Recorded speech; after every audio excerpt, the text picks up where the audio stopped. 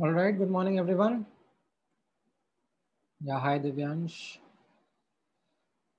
Good morning, Jay. Good morning, Nishit. Hi, Vansh. Good morning, Aryan.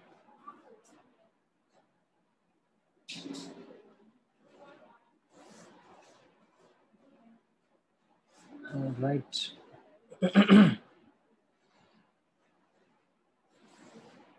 ठीक है सो so, कल की क्लास में मैंने आप लोगों को रेडियल वेव फ़ंक्शन और उसकी डिटेल्स के बारे में सिखाया था। Right what were the key learnings एक बार क्विक रिकैप कर देगा कोई मेरे लिए? हाँ मैं अनम्यूट करता हूँ एक मिनट हाँ।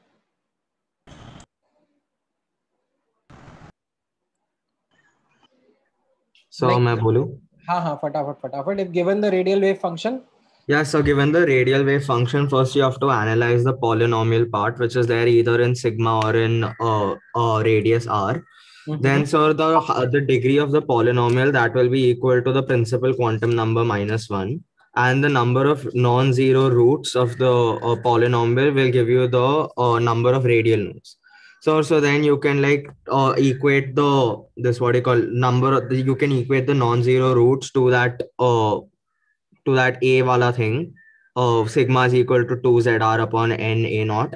And then you can also find the radius at which the uh, radial node is present. Correct. So not just number of nodes but you can also understand the oh as a mutual quantum number. Yes so from that correct correct correct location of nodes का भी हम लोगों ने discussion किया था। ठीक है? अच्छा नाउ बेस्ड अपॉन दैट ठीक है let's understand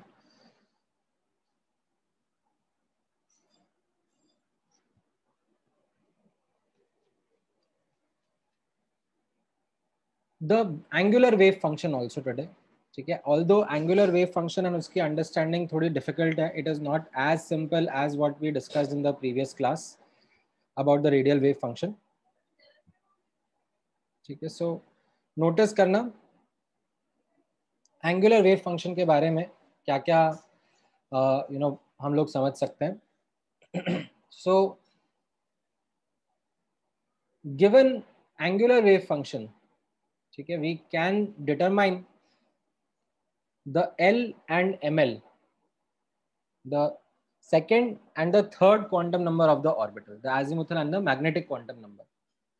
However, जितना डिटेल में जितना इजी तरीके से हम लोगों ने पैटर्न फिगर आउट करा है फॉर रेडियल वेव फ़ंक्शन उतना इजी उतना सिंपल इंटरप्रिटेशन नहीं होता है एंगुलर वेव फ़ंक्शन का ठीक है? सो उस एंगुलर वेव फ़ंक्शन के लिए हम लोग कुछ इंपॉर्टेंट बुलेट पॉइंट्स नोट करेंगे। And based on that will try to develop some more understanding सबसे पहला बुलेट पॉइंट आप लोग नोटिस करोगे that will be this first one that if we find that the angular wave function of an orbital is independent of theta and phi यानी कि constant है। ना तो उसमें थीटा का टर्म है ना उसमें फाइव का टर्म है। That means there is no dependence on the angles ऐसा कौन सा ऑर्बिटल होता था जिसमें the shape does not depend upon correct the s orbitals are spherically symmetrical there is no directional bias there is no directional character there is no directional orientation right तो अगर किसी wave function में theta and phi है ही नहीं the angular wave function is just a constant then it will be s orbital ठीक है? You could notice this from the table which we had drawn in the previous class ठीक है? इसमें आप notice करोगे एस ऑर्बिटल्स का, ठीक है? This is the one s orbital two s orbital can you notice their angular part yes merely a ठीक है थ्री एस ऑर्बिटल का भी आप नोटिस करोगे it's merely a constant there is no dependent on theta and phi ठीक है so if let's say you come across such tricky questions why am i saying this is a tricky question यहाँ पे notice करना ये वाला question read करो एक बार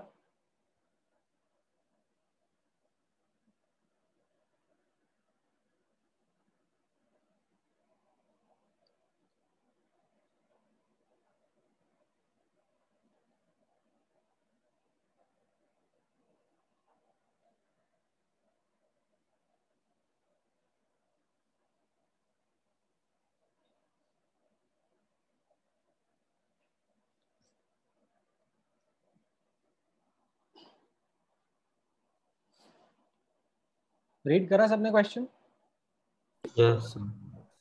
yes now अब इसमें नोटिस करना। इसमें इनफैक्ट बोला जा रहा है प्रोबेबिलिटी ही बता दो। Have we done calculation of finding the probability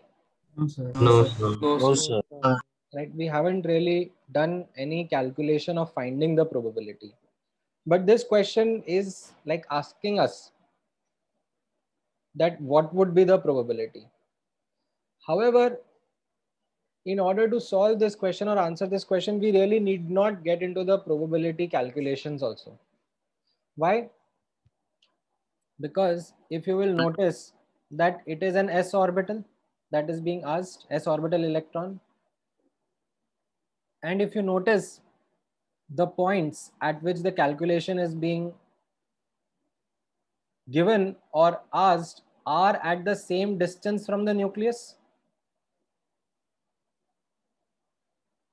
ठीक है this is the given a comma zero comma zero ठीक है यहाँ पर at this distance from the nucleus आपसे प्रोबेबिलिटी आपको प्रोबेबिलिटी दी जा रही है and this is what is being asked 0 comma a comma 0 So the trick in the question actually lies in the fact that both these points are at the same distance from the nucleus. Since they are at the same distance from the nucleus and it is an s orbital electron, there is no dependence on angle. Okay. The probability just depends on the distance from the nucleus and since the distance is same, the probability is also same. Hence the answer option a. ठीक है? Otherwise आपको probability की calculation तो आती नहीं नहीं करवाई जाएगी। ठीक है? You won't be able to do that calculation of probability of finding the electron sir हाँ। बाय चांस अगर ये बोलता कि पी ऑर्बिटल तो क्या करते? नहीं हो पाता आपसे। हो ही नहीं पाता बिकॉज़ उसमें आपको एक्चुअल प्रोबेबिलिटी का कैलकुलेशन करना पड़ता है and that was not something which was expected from you कि आप एक्चुअल प्रोबेबिलिटी का कैलकुलेशन करो। ठीक है? समझ में आया ये ट्रिक हाँ सर यस सर सर हाँ। सर तो ऐसे क्वेश्चंस अगर आएँगे तो सिर्फ़ एस ऑर्बिटल पे ही आएँगे। हाँ हाँ। ऐसी ट्रिक एस पे अप्लाई करी जा सकती है बिकॉज़ आपको angular aspects and in fact जो डिटेल्ड प्रोबेबिलिटी कैलकुलेशन है वो तो आती नहीं है। ठीक है? Okay sir now next important point notice करना about the angular wave function ठीक है नेक्स्ट इंपॉर्टेंट पॉइंट क्या रहेगा? यहाँ पे नोटिस करना।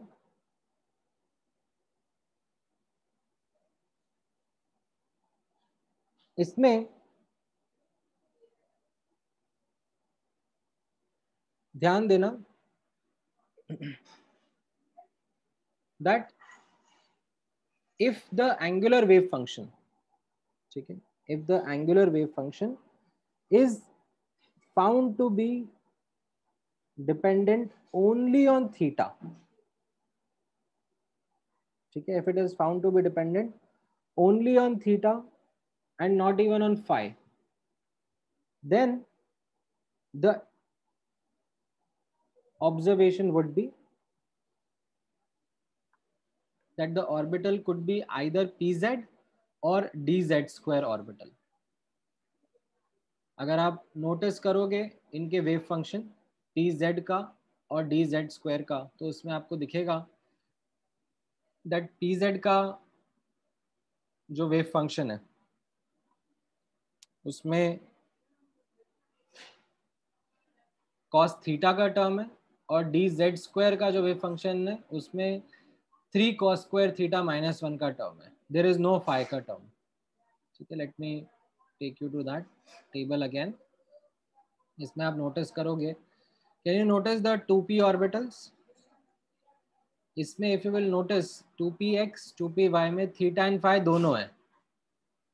बट टू पी जेड में सिर्फ़ और सिर्फ़ थीटा का टर्म रहेगा there is no phi term वैसे ही आप नोटिस करोगे थ्री पी में सो so वही चीज़ रहेगी। Three P X and three P Y इनमें थीटा एंड फाइव का टर्म रहेगा। थ्री पी जेड में सिर्फ़ और सिर्फ़ थीटा का टर्म है। If you will notice three D के orbitals then can you see that it's Z square में सिर्फ़ थीटा का टर्म है। There is no phi and बाकी जो चारों डी ऑर्बिटल्स हैं ठीक है D X Y Y Z Z X X square minus Y square इन सब में थीटा एंड फाइव दोनों के टर्म्स हैं So this is because it has to be along z axis because theta is uh, by angle with z axis and phi is independent when it's along z axis, right? नहीं ऐसा exact inference नहीं है it is actually something which goes into the calculation related to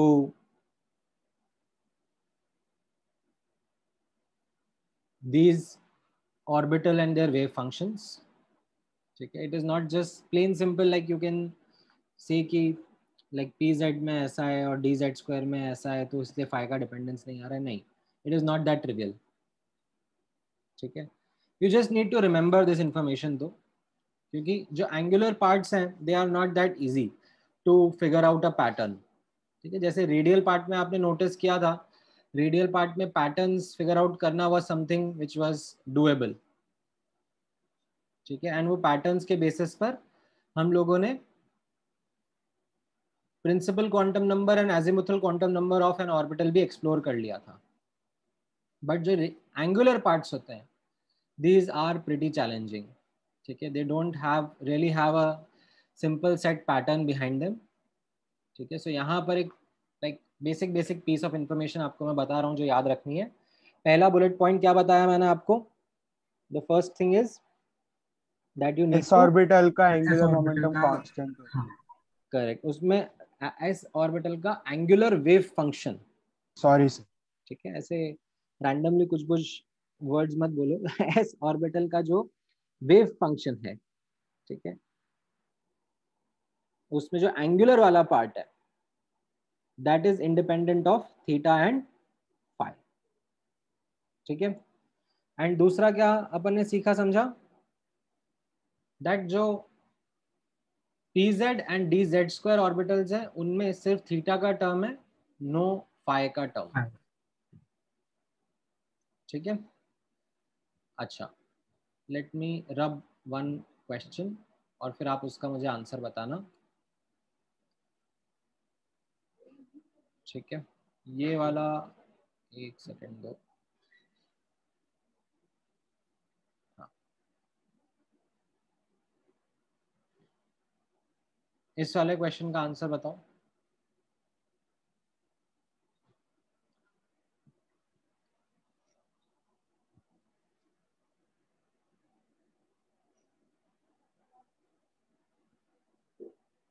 हाँ खुशी आपका गलत है। अच्छा नहीं या तो आपने शायद पहले वाले के लिए बोला होगा। राइट राइट राइट वो तो पहले वाले के लिए दिया था। अभी नया। गोपाल तुम एक आंसर बताओ ना सारे एबीसीडी के सर, सर दूसरा वाला लो दूसरा वाला लो। गल, पहला वाला गलती से डाला मैंने। हाँ, तो तुम्हारा गलत है आंसर। रोहन सम्यक आपका सही है। जनमंजय सही है। ध्रुव ध्रुविल गलत है। नहीं ध्रुविल का सही है सॉरी ध्रुव का गलत है आर्यन का गलत है। अजिंक्य गलत? Shubhayan Jay correct Sahil correct Yash correct Sujal incorrect Aditya correct Aryaman correct Jovan correct अभी बहुत सारे करेक्ट आ गए चलो। आई थिंक समझ में आ गया होगा आपको। C option is the correct answer कैसे? Can you see the angular wave function there is no theta and no phi yes. Yes, sir. Implies ये एस ऑर्बिटल हो गया। एंड एस ऑर्बिटल का क्या मतलब होता है? L is equal to zero है ना? And it has been told that it has got two radial nodes मतलब N minus L minus one is two तो अगर आप एल ज़ीरो पुट करके देखोगे यहाँ पर तो एन का वैल्यू थ्री आ रहा है। Means it's a 3s orbital. Right? तो सी ऑप्शन समझ में आया? Yes sir. ठीक है। और क्वेश्चंस कराएँगे थोड़ा और प्रैक्टिस करेंगे। ठीक है? Now let me remove answer again just give me one moment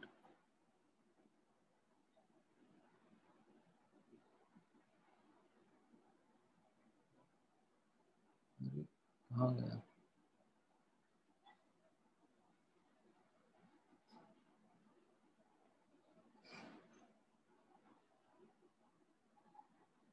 अच्छा चलो थोड़ा चैलेंजिंग सा क्वेश्चन आ गया है। ये थोड़ा सा चैलेंजिंग हो जाएगा। इसमें मैं हिंट दे सकता हूँ आपको। सो so, यहाँ पर मैंने तीन एंगुलर वेव फ़ंक्शन लिखे हैं टू पी ऑर्बिटल के।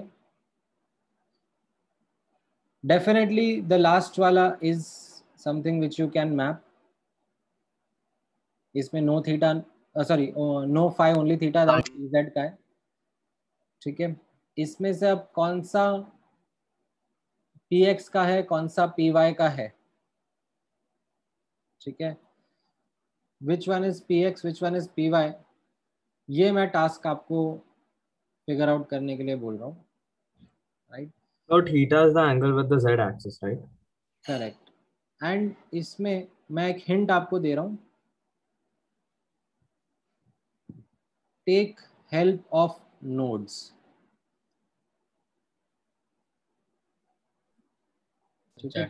और कौन सा help take help of angular nodes कैसे आप वो हेल्प लोगे? So if you remember P Z का ठीक है? If you remember P Z का wave function you remember P Z का डायग्राम कैसा होता था? Yes, sir. yes. Yes, sir. P Z का डायग्राम होता था जेड एक्सिस के अलोंग एक डंबल इसका एंगुलर नोड क्या होता था? X. Y. The entire X Y plane yes sir Yes, sir. now how do i prove that the entire xy plane was a nodal plane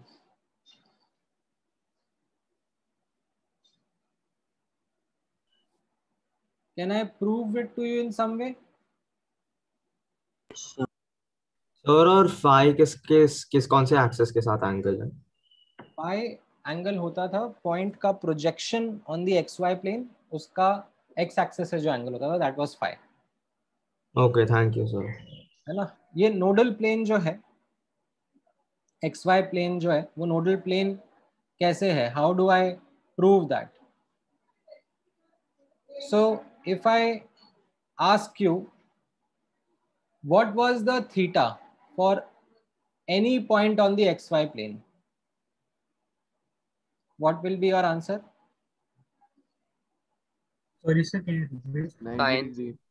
for any point on X Y plane theta is 90 degree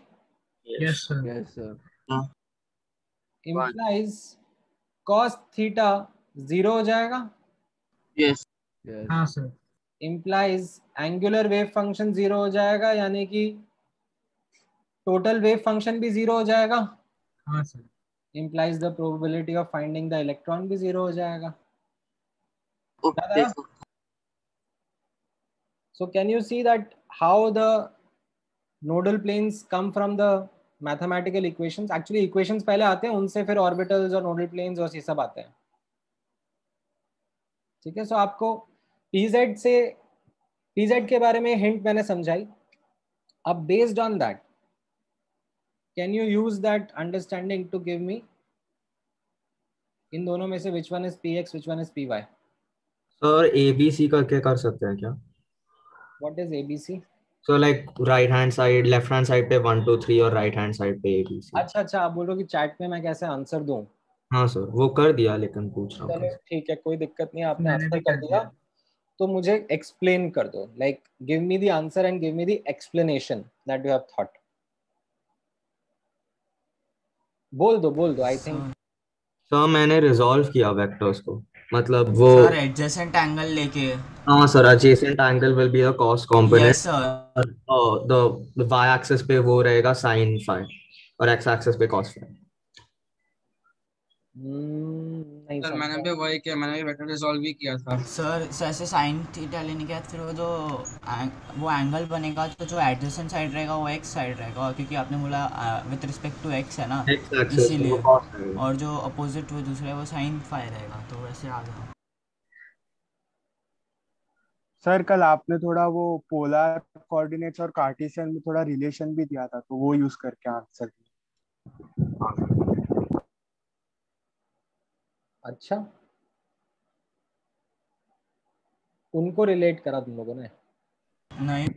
sir आपने बोला phi solve किया sir with the X axis तो फिर आ, वो क्या बोलते हैं? वो उसका साइन थीटा का component will lie on the X Y plane और फिर उसका आ, क्या बोलते हैं cos component will lie along X axis और उसका sine component will lie along Y axis हाँ sir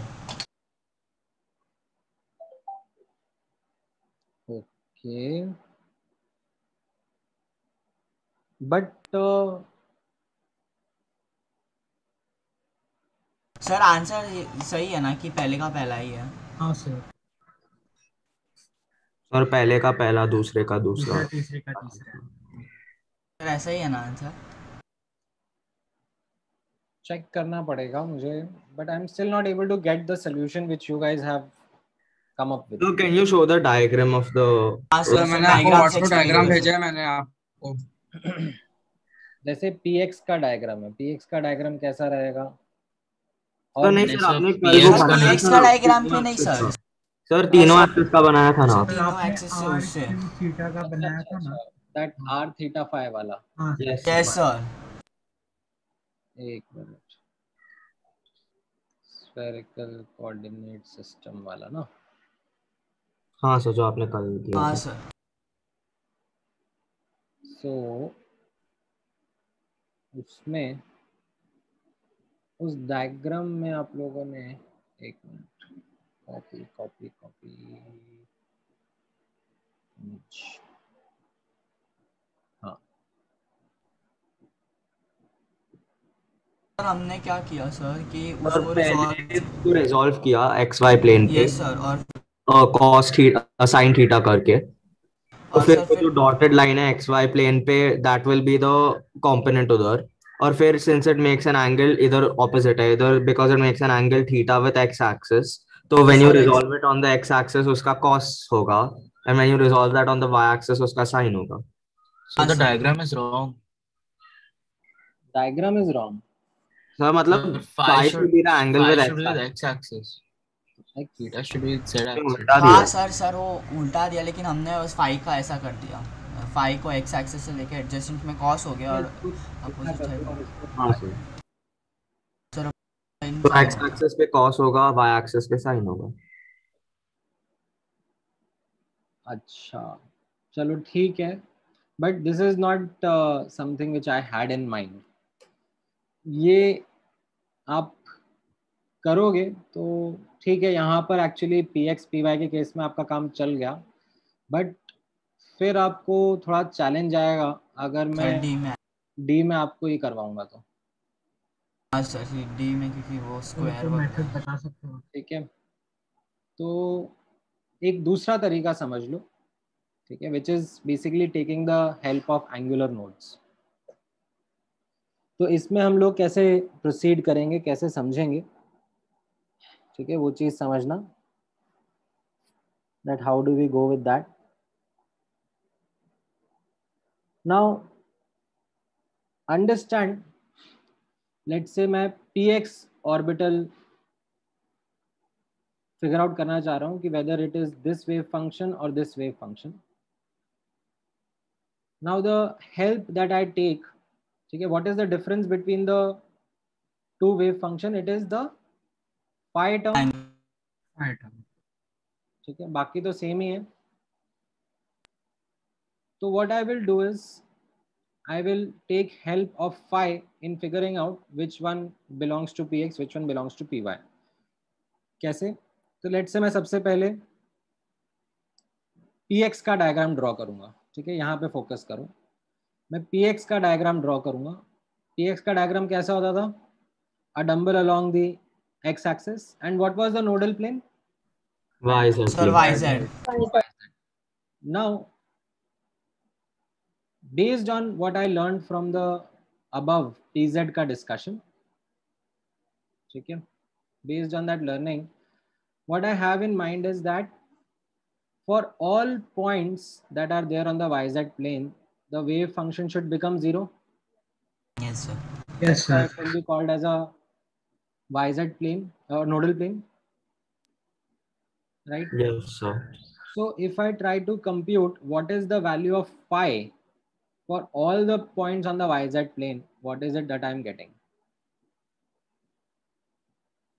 So I will project all these points that are there on the YZ plane on the XY plane. What do I get?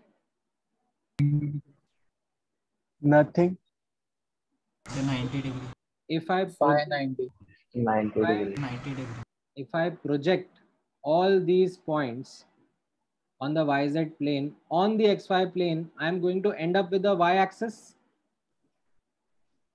Yes sir Yes, sir. आप ऐसा मानो ना कि यहाँ से आपने torch जलाई तो ये जो वाइजेड प्लेन की शेडो है ठीक है ये एक्स वाई प्लेन पे कहाँ बनेगी जस्ट Y-axis पे. Y axis Y-axis. हाँ सर समझा sir right Now, what is the angle that y-axis k point make with the x-axis? 90 degree. 90 degree.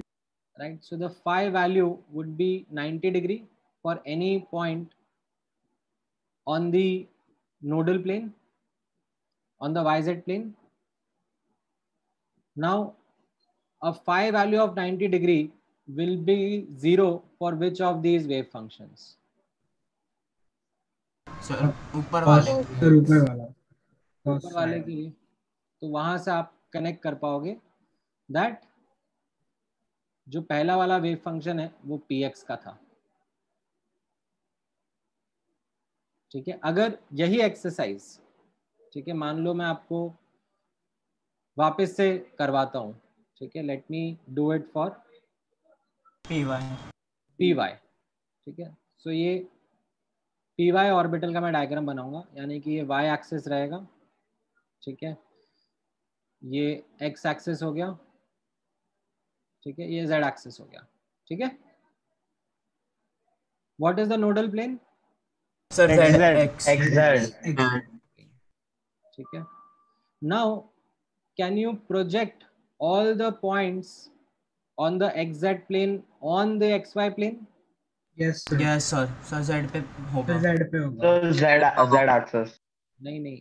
Z axis पे तो आपकी टॉर्च रहेगी ना। You have to project all these points on the x y plane अच्छा sir हमेशा x Y plane पे ही करना है।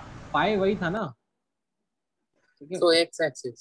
we X axis. want to cal- calculate the Sir, X axis. phi for the points on exact plane is ठीक है। Sir x axis right so if we take the projection of points on the exact plane on the xy plane they would lie all on the x axis Axis. Yes, हाँ sir. Sir है कि नहीं Yes, sir. and what will be the value of phi for the points on the x axis 90 degree. Sorry. Zero degree. अगर point x axis पे लाई कर रहा है तो उसका x एक्सिस से एंगल हाँ, कितना हो गया हाँ, zero Zero. Zero. so for any point on the xz plane the value of phi comes out to be zero Yes, sir. अब वो कौन सा वेव फ़ंक्शन सेटिस्फाई करेगा जो कि ज़ीरो हो जाएगा फाई की वैल्यू ज़ीरो Yes, sir. तो दूसरा वाला हाँ सर समझा और मतलब हमेशा क्या कहते हैं एक्स वाई प्लेन पे ही प्रोजेक्शन लेना है और एक्स एक्सिस से ही रिस्पेक्ट पे लेना है। ऐसा क्यों करा हमने? उसके पहले क्योंकि का उसके पहले का रीजन समझना। जब मैंने इन दोनों वेव फ़ंक्शन को नोटिस किया तो इनमें अंतर मुझे क्या दिखा? फाइव वाला टर्म फाई का। अब वाला. फाइव टर्म अब आई रिमेम्बर फाई क्या था? Phi was the x y plane with respect X Y plane. हाँ was the angle between x axis and projection of the point on the xy plane? Yes, sir. Yes sir so अब अगर मुझे किसी भी point के लिए phi calculate करना है तो पहले मुझे उस पॉइंट को एक्स वाई प्लेन पे प्रोजेक्ट करना पड़ेगा और फिर उसको प्रोजेक्शन को ओरिजिन से कनेक्ट करके उसका एंगल विद एक्स एक्सिस लेना पड़ेगा। Sir Yes, sir. मतलब हमने जो किया वही किया सर बट आपने उसमें क्या कहते हैं एंगल्स डाल के किया। हमने सिर्फ़ विदाउट एंगल डाल के किया। नहीं so आपने जो किया वो आपके लिए वर्क कर जाएगा पी के केस में। हाँ सर सर डी में थोड़ा टफ पड़ेगा वो। डी में आपको और टफ पड़ जाएगा। सो so, उसके लिए what I would request you to is think of it in this way yes sir thank you sir वो एक्सरसाइज अब आप घर पे करो। वो मैं क्लास में नहीं कराऊँगा। वो सीधे टेस्ट में पूछेंगे। ठीक है? नहीं नहीं नहीं पूछेंगे ऐसे एकदम चिंता मत करो कि सर ये क्या बात हुई। सर थैंक यू तो सर चलेगा पर सर टू पी तक हूँ एक सेकंड के लिए। हाँ sir two p three p तक पी तक ठीक। है। पी का डाल दो सर आपने पढ़ाया है। हम लोग को अच्छा पड़ेगा ठीक। एक एग्जांपल डी का भी ले लो ना तो अच्छा। हाँ हाँ यही करते रहेंगे। मैं तुम तुम खुद का दिमाग तो लगाओगे नहीं। लगाएँगे sir sir sir next doubt lecture में अगर क्वेश्चन आया तो पूछेंगे सर नहीं तो लगाएँगे सर ऑलराइट चलो तो आप लोगों को ये रेडियल वेव फ़ंक्शन और एंगुलर वेव फ़ंक्शन की अंडरस्टैंडिंग समझ में आई है अब? यस सर हाँ सर यस सर ठीक है रेडियल वेव फ़ंक्शन की फिर भी काफ़ी इलेबोरेट अंडरस्टैंडिंग थी। एंगुलर वेव फ़ंक्शन की इतनी इलेबोरेट अंडरस्टैंडिंग नहीं है। एंगुलर वेव फ़ंक्शन में वी नोटिस सर्टन की पॉइंट्स ठीक है कि अगर थीटा फाई नहीं है तो एस ऑर्बिटल मानने का अगर सिर्फ़ थीटा फाइव नहीं है तो पी जेड या डी जेड स्क्वायर ऑर्बिटल रहेगा। ठीक है पी जेड में कॉस थीटा का टर्म आता है और डी जेड स्क्वायर में three cos square theta minus one का टर्म आता है। ठीक है? इनफैक्ट अगर आपको अब डी ऑर्बिटल्स के बारे में भी हिंट लेना है तो do you remember d z square orbital? Yes yes sir sir yes yes sir ठीक है डी जेड स्क्वायर ऑर्बिटल का आपको शेप याद है?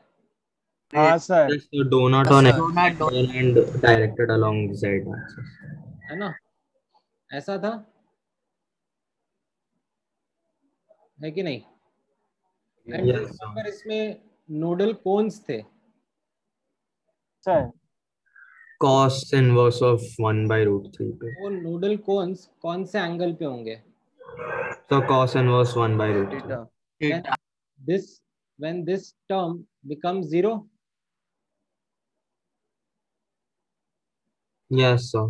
तो ये sir. कब ज़ीरो बनेगा? When cos theta is equal to one by root three या minus one by root three yes sir तो ये वो थीटा रहेंगे जहाँ पे ये नोडल कोन प्रेजेंट रहेगा। ये थीटा जो रहेगा ये कैसा रहेगा? Cos थीटा की value plus one by root three रहेगी। ठीक है?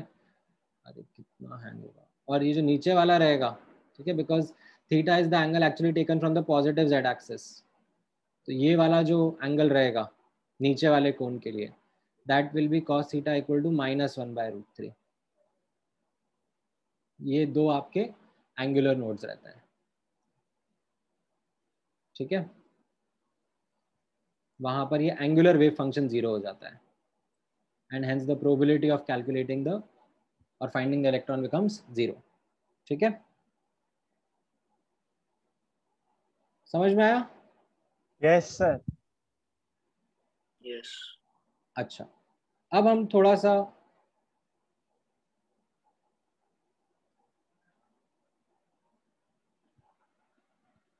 डिटेल में जाएँगे of probability of finding the electron around the nucleus.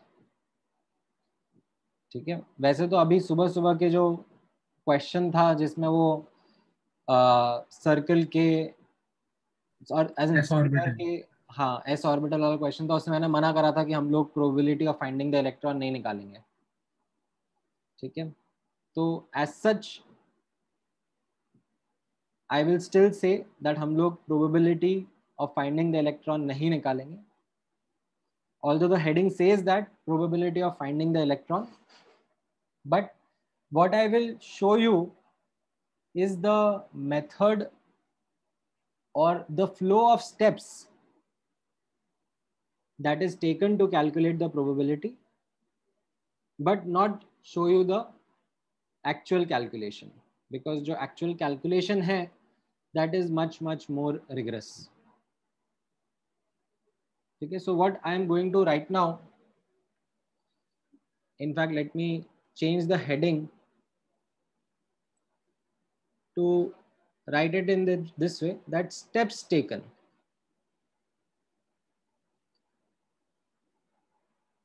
To calculate or to or steps taken for finding the probability of or steps taken for calculating probability of finding electron around the nucleus. ठीक है we won't be doing actual calculations तो वो किस तरीके से work करता है? ठीक है, ये फ्लो ऑफ़ स्टेप्स समझना। ठीक है just notice the flow of the steps so सबसे पहले हाइड्रोजन एटम के लिए श्रोडिंजर इक्वेशन लिखी जाती है। कौन लिखता है?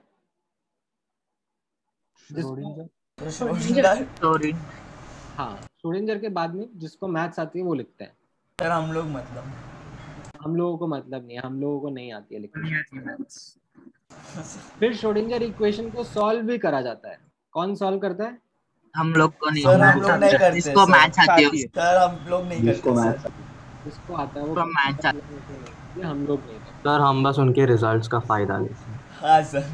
तो उन लोगों ने जिन लोगों ने सॉल्व करा हुआ है they in fact get multiple results. Not just one result they get multiple results out of the schrodinger equation. What does each result represent? Orbital. Orbital. Wave function for each result represents an orbital or if i was to say it more technically each result gives us an energy level and a wave function for the electron wave. ठीक है? याद है वो वाला statement जो मैंने हाँ आपने सर फिर दो क्लास से आपने डाला सर एग्जैक्टली सर दो क्लास हाँ। ठीक है? अब कैसा होता है? जैसे for example one of the solution is one s का वेव फ़ंक्शन ठीक है? दिस इज़ वन एस का वेव फ़ंक्शन जो मैं डायरेक्टली लिख रहा हूँ आपके सामने. अगेन नॉट एक्सपेक्टिंग कि आपको ये याद होगा. ठीक है? I am not at all expecting कि आपको ये याद होगा. ठीक है? But for example one s has the following equation following wave function ठीक है? Now this entire thing is called as the wave wave function this entire thing is called as the wave function wave function and ये जो psi है वो क्या represent कर रहा है? Amplitude. Wave function. Correct. So if we put values of r, theta and phi, okay? if we put the values of r, theta and phi in this expression, in this wave function, then the value of psi, okay? that gives us the amplitude of the electron wave at that location. Right? ठीक है? In this wave function ठीक है this entire equation is the wave function function. ठीक है इसमें if we put the value of certain point around the nucleus ठीक है nucleus is at the origin and उसके अराउंड जो वर्ल्ड है उसको हम आर थीटा फाइव से फाइव से डिस्क्राइब करते हैं Yes, sir. तो अगर Yes. किसी भी पॉइंट का मैं आर थीटा या फाइव इसमें पुट करूँगा और जो वैल्यू मिलेगी मुझे वो वैल्यू मुझे क्या देगी of the Amplitude. electron wave at that point है कि नहीं Yes, sir. Yes, तो डिफरेंट डिफरेंट पॉइंट्स का डिफरेंट डिफरेंट एम्पलीट्यूड हो सकता है अगर मैं यहाँ पे आर का वैल्यू वन डालूँ टू डालूँ थ्री डालूँ तो अलग अलग एम्पलीट्यूड आ सकता है Yes, sir. Yes, sir. तो अब इतना निकालने के बाद में, एक और साइंटिस्ट है, मैक्स बॉन्ड उन्होंने बोला, ठीक है, कि जो ये एम्पलीट्यूड का स्क्वायर अगर तुम कर दोगे, ठीक है, एम्पलीट्यूड का स्क्वायर अगर तुम कर दोगे तो it will be related to the probability of finding the electron it will be related ठीक है अकॉर्डिंग टू मैक्स बॉन्ड ठीक है, यहाँ पे मैं लिख देता हूँ अकॉर्डिंग टू मैक्स बॉन्ड साई स्क्वायर ठीक है is related to probability of finding electron, ठीक है फाइंडिंग दिस इलेक्ट्रॉन दिस मतलब कौन सा हो गया वन एस का इलेक्ट्रॉन नाउ अब वो रिलेटेड कैसे है उसका मैंने यहाँ पर इक्वेशन लिखा क्या लिखा psi square is equal to what of Probability density. Probability density ठीक है क्या ये सुन के देख के पढ़ के आपको कुछ अजीब सा लग रहा है हाँ sir. Yes, sir. हाँ सर क्यों? क्योंकि आपके दिमाग में ये डेंसिटी वर्ड तो समझ में नहीं आया कि प्रोबेबिलिटी के साथ में कैसे यूज़ हो गया। Right Yes, sir. Yes, sir. the word density whenever we write it हमारे दिमाग में पहला थॉट क्या आता है. मास अपॉन वॉल्यूम ठीक है? नाउ एक्चुअली जो डेंसिटी का डेफिनेशन मास अपॉन वॉल्यूम आपके दिमाग में आता है उसका पूरा नाम उसका टेक्निकल नाम बोला जाएगा is mass density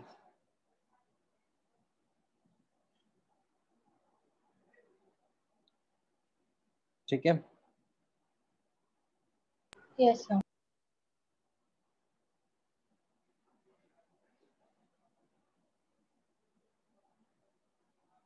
Will not call it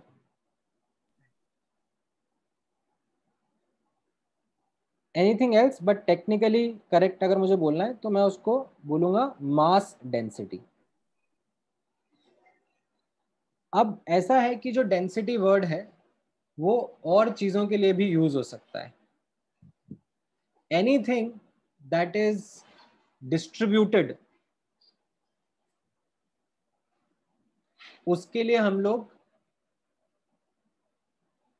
density word use कर सकते हैं। जैसे फॉर एग्ज़ाम्पल अगर if I use this term charge density in front of you ठीक है? सो आप इसका क्या मीनिंग लोगे? चार्ज पर वॉल्यूम चार्ज पर यूनिट वॉल्यूम ठीक है? ऐसा Charge per unit volume. ऐसा मैं कब यूज़ करूँगा? ठीक है? When say I have an object which is charged ठीक है? बट दैट चार्ज ठीक है? That is say not uniform spread on that object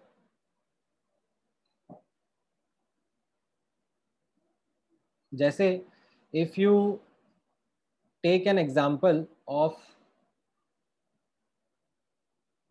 say H2O molecule H2O molecule में कैसा रहता है between hydrogen and oxygen electrons present होते हैं आपने पढ़ा है जूनियर क्लासेस में Yes, sir. Yes, sir. Yes, sir. have you also studied that oxygen has a greater tendency to Yes, sir. pull the electrons sir. towards yes, itself Yes, sir. Yes, sir. हाँ तो More जो ये मोर electronegative right ऐसा एक word आपने शायद सुना हो। तो ये Yes, sir. इलेक्ट्रॉन्स है। ये ज़्यादा ऑक्सीजन के पास में रहते हैं as compare to Hydrogen. Hydrogen so अगर मैं इस मॉलिक्यूल का चार्ज डिस्ट्रीब्यूशन आपसे पूछूँ ठीक है? ओवरऑल तो मॉलिक्यूल न्यूट्रल है right but it is it is made up of certain protons and neutrons uh, and electrons ठीक है but what we are seeing is that electrons are more concentrated around the oxygen atom so we say that there is a charge distribution more negative charge is around the oxygen atom ठीक है and less negative charge or you can say positive charge is around the hydrogen atom ठीक है इस तरीके से हम लोग charge के डिस्ट्रीब्यूशन के बारे में बात करते हैं। ठीक है तो अगर मैं पूछूँगा चार्ज डेंसिटी तो आप कैसे बोलोगे कि हाँ सर चार्ज डेंसिटी ये ऑक्सीजन के पास ज़्यादा रहेगी as compare to hydrogen so now do you understand that density is not just about mass upon volume density is a property that can be use to describe ठीक है? और it can be use to describe how another property is distributed in one dimension और two dimension और three dimension अगर volume use कर रहे हैं तो हम लोग थ्री डायमेंशनल डिस्ट्रीब्यूशन के बारे में बात कर रहे हैं। सो डेंसिटी वर्ड का थोड़ा बेटर मीनिंग समझ में आया आप लोगों को? यस सर यस सर ठीक है? तो अब ऐसा है दैट जब हम न्यूक्लियस के अराउंड इलेक्ट्रॉन के मिलने की प्रोबेबिलिटी के बारे में बात करते हैं do you think it is same everywhere No, sir. हाँ सर यानी कि प्रोबेबिलिटी का भी कुछ डिस्ट्रीब्यूशन है Yes, sir. sir. Yes, sir. ठीक है just give me one minute एक मिनट दो मुझे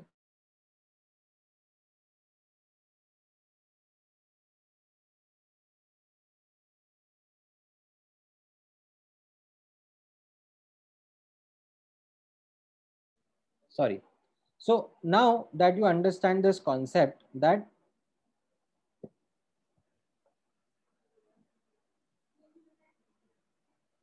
probability of finding an electron is also distributed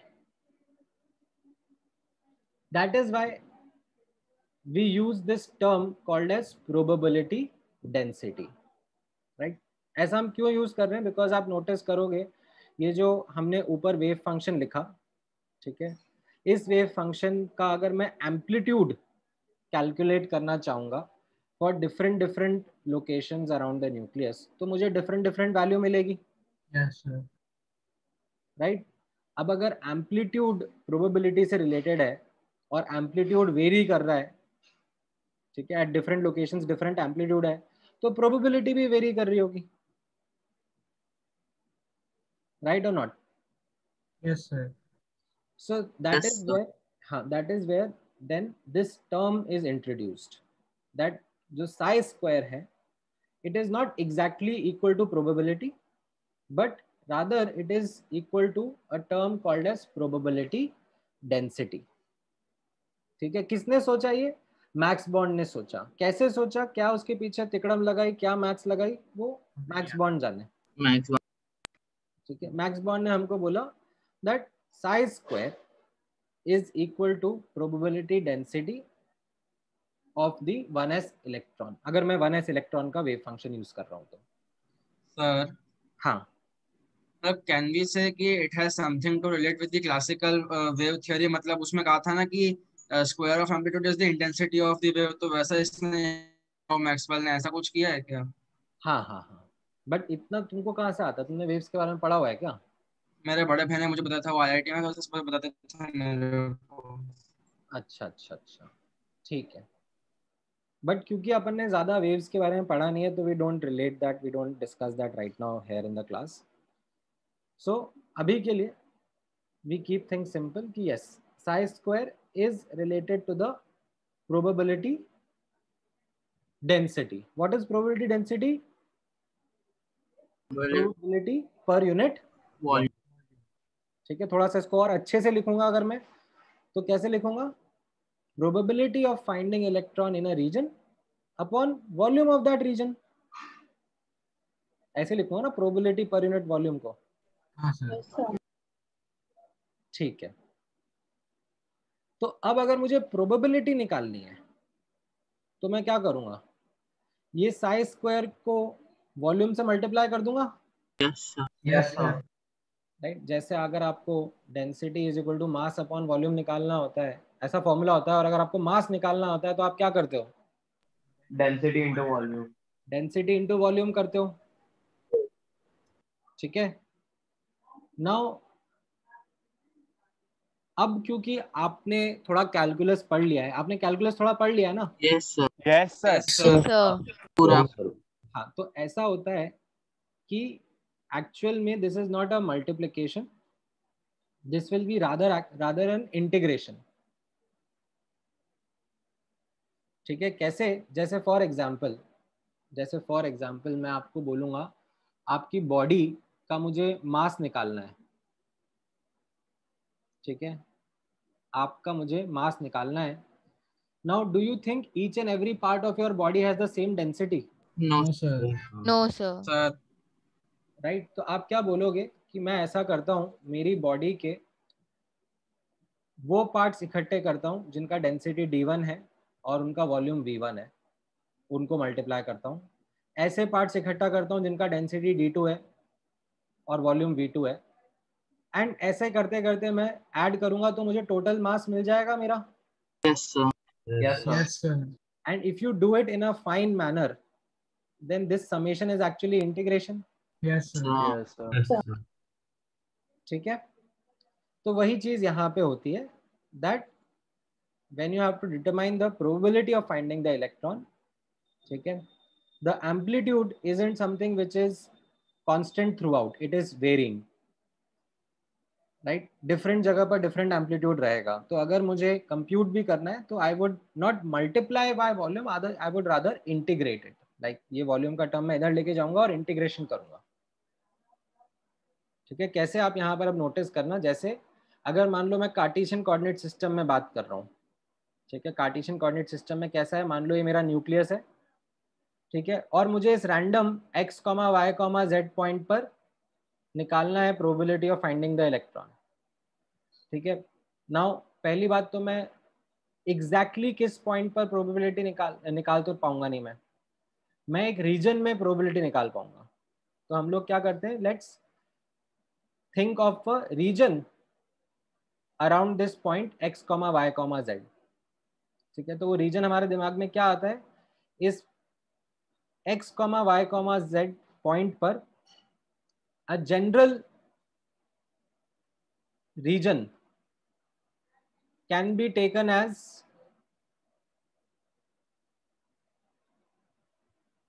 a cuboid of length dx width dy and height dz?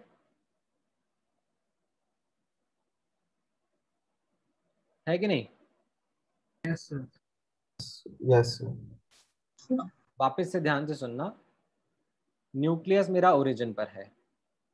ठीक है? एंड मुझे क्या करना है? मुझे probability of finding an electron करना है। ठीक है? Probability of finding an electron कहाँ करना है? In a region now I need to think of any general region I can't be very है ना ऐसे मैं कुछ ये तो नहीं कह सकता ना कि एक पर्टिकुलर रीजन ही मैं चूज़ करूँगा। एक जनरल रीजन मुझे सोचना पड़ेगा। तो कार्टेशियन कोऑर्डिनेट सिस्टम में मैं एक जनरल रीजन कैसे सोचता हूँ? Any region of dimension dx dy dz that will be like a cuboid that will be my general region? Yes. Yes sir और उस क्यूबॉइड की वॉल्यूम क्या हो जाएगी? dx into dy into dz? Yes, sir. Yes sir तो अब अगर Yes, मुझे. प्रोबेबिलिटी निकालनी होगी ठीक है? I need to calculate the probability of finding the electron तो what I will do is I will take this volume to be dx dy dz and take it on the left hand side but then it will not be a multiplication but rather an integration integration ठीक है? ये जो psi है वो खुद x comma Y comma Z पे depend करता है तो उस फ़ंक्शन को मैं D X D Y D Z तीनों के रेस्पेक्ट में इंटीग्रेट करूँगा एंड इससे मुझे प्रोबेबिलिटी मिलेगी of finding the electron in the region limits क्या डालूँगा मैं? लिमिट्स डालूँगा सर रीजन का। X x plus D X Y से Y plus plus D y plus y plus dy. Z से डी z plus dz. ठीक है तो मुझे ये दे देगा क्या? Probability of finding the electron in a region X Y Z around this point x comma y comma z. अच्छा अगर ठीक है जस्ट इंट्यूटिवली ठीक है जस्ट इंट्यूटिवली मान लो मैं लिमिट्स माइनस इंफिनिटी से प्लस इंफिनिटी डाल देता हूँ for all three what do you think my answer should come out to be? 100%. 100% or Hmm. one? One yes हाँ सर Yeah, है ना मतलब कहीं ना कहीं तो मिलेगा ही सही ना इलेक्ट्रॉन हाँ sir. yes sir. ठीक है गुड तो आई थिंक आपको थोड़ा समझ में आ रहा है what I am talking about sir हाँ। सर ये in a region around dx dy dz नहीं होना चाहिए? नहीं in a region around x comma y comma z तो x comma y comma z is the general location and उसमें the region is of dimensions dx dy dz. अच्छा okay sir अगर मेरे को और इसको क्लियरली लिखना है probability of finding an electron in a region ठीक है? In a region dx dy dz around x comma y comma z. अभी चलेगा? हाँ यस सर हाँ हाँ सर ठीक है? पहला वाला भी चले जनरली ऐसे लिख देते हैं दैट इट इज़ अंडरस्टूड कि a region around general region around x comma y comma z will be dx into dy into dz. ठीक है? अब ऐसा है कि कार्टेशियन कोऑर्डिनेट सिस्टम और उसके अंदर की ये मैथ्स तो बहुत ही दर्दनाक होती है। ठीक है? ये इंटीग्रल देखना और इसको देखकर सॉल्व करने में पसीना आ जाएँगे। दिस इज़ टू डिफ़िकल्ट तो दैट इज़ तीन इंटीग्रेशन के साइन क्या है? हाँ क्या? तीन इंटीग्रेशन तीन इंटीग्रेशन हाँ ट्रिपल इंटीग्रेशन कहते हैं इसको। अभी तो अपन सिंगल इंटीग्रेशन के साथ में स्ट्रगल करते हैं। तो that is where what happened was that it was chosen it was in fact found out कि जब हम ये वेव फ़ंक्शन को कार्टेशियन कोऑर्डिनेट सिस्टम में लिखते हैं तो वो तो एक्स वाई जेड में एकदम मतलब लाइक like कॉम्प्लिकेटेड सा फ़ंक्शन आता है बट जब हम इसको रेडियल या पोलर कोऑर्डिनेट सिस्टम में लिखते हैं तो at least we are able to break it down into a separate radial part and a separate angular part ठीक है? ये अपन ने लास्ट क्लास में भी डिस्कस किया था। That when we when this happens that this wave function is written in the polar coordinate system it automatically ये इसका नेचर है। ये हमारी खुशकिस्मती है that this automatically breaks down into a separate radial part and a separate angular part and both of them can be then solved independently if I focus on the radial part and work on it, it will give me the radial probability distribution. Okay, that how the probability of finding an electron varies with respect to distance from the nucleus. And if I solve this angular part so it will give me the angular probability distribution. That is how the probability of finding the electron varies with angles from the axes. Now. The thing is that ये तो बहुत ही, ये बेइंतहा difficult है। मतलब this is तो too much to even handle at our level right now this is too difficult so as part of our syllabus हम फोकस करते हैं more on the radial part ठीक है? ऑन द रेडियल डिस्ट्रीब्यूशन ठीक है? This is more of our I should say focus ठीक है? And hence come the comes the topic. Radial probability distribution of electron. Radial part को हम थोड़ा और एक्सप्लोर करना चाहेंगे। ठीक है? मैं तभी प्रोबेबिलिटी कैलकुलेट करना नहीं बताऊँगा आपको, क्योंकि वो इंटीग्रेशन करना अपने आप में डिफ़िकल्ट हो जाएगा। ठीक है? Even the single integration would be difficult मतलब जो D R D theta D phi का ट्रिपल इंटीग्रल होगा, उसको हमने क्या कर दिया? हमने डी आर डी आर वाले पार्ट को अलग कर दिया डी थीटा डी फाइव वाले पार्ट को अलग कर दिया। ठीक है? एंड फिर सिर्फ़ डी आर वाले पार्ट पे फोकस कर रहे हैं which will be a single integral only but that single integral is still something which will not be doing ठीक है? That is the integration that will still be something that may be after twelfth class जब आप integration maths में detail में सीख लोगे, पढ़ लोगे तो आप अटेम्प्ट ले सकते हो। अभी तो बिल्कुल भी नहीं। You will not be able to compute the integral ठीक है? So let's focus a bit more on the radial probability distribution of electron wave. यहाँ तक का समझ में आ रहा है चीज़ें? Yes sir. ठीक है। अब नोटिस करना as part of this subtopic primary focus is to understand ठीक है the radial wave function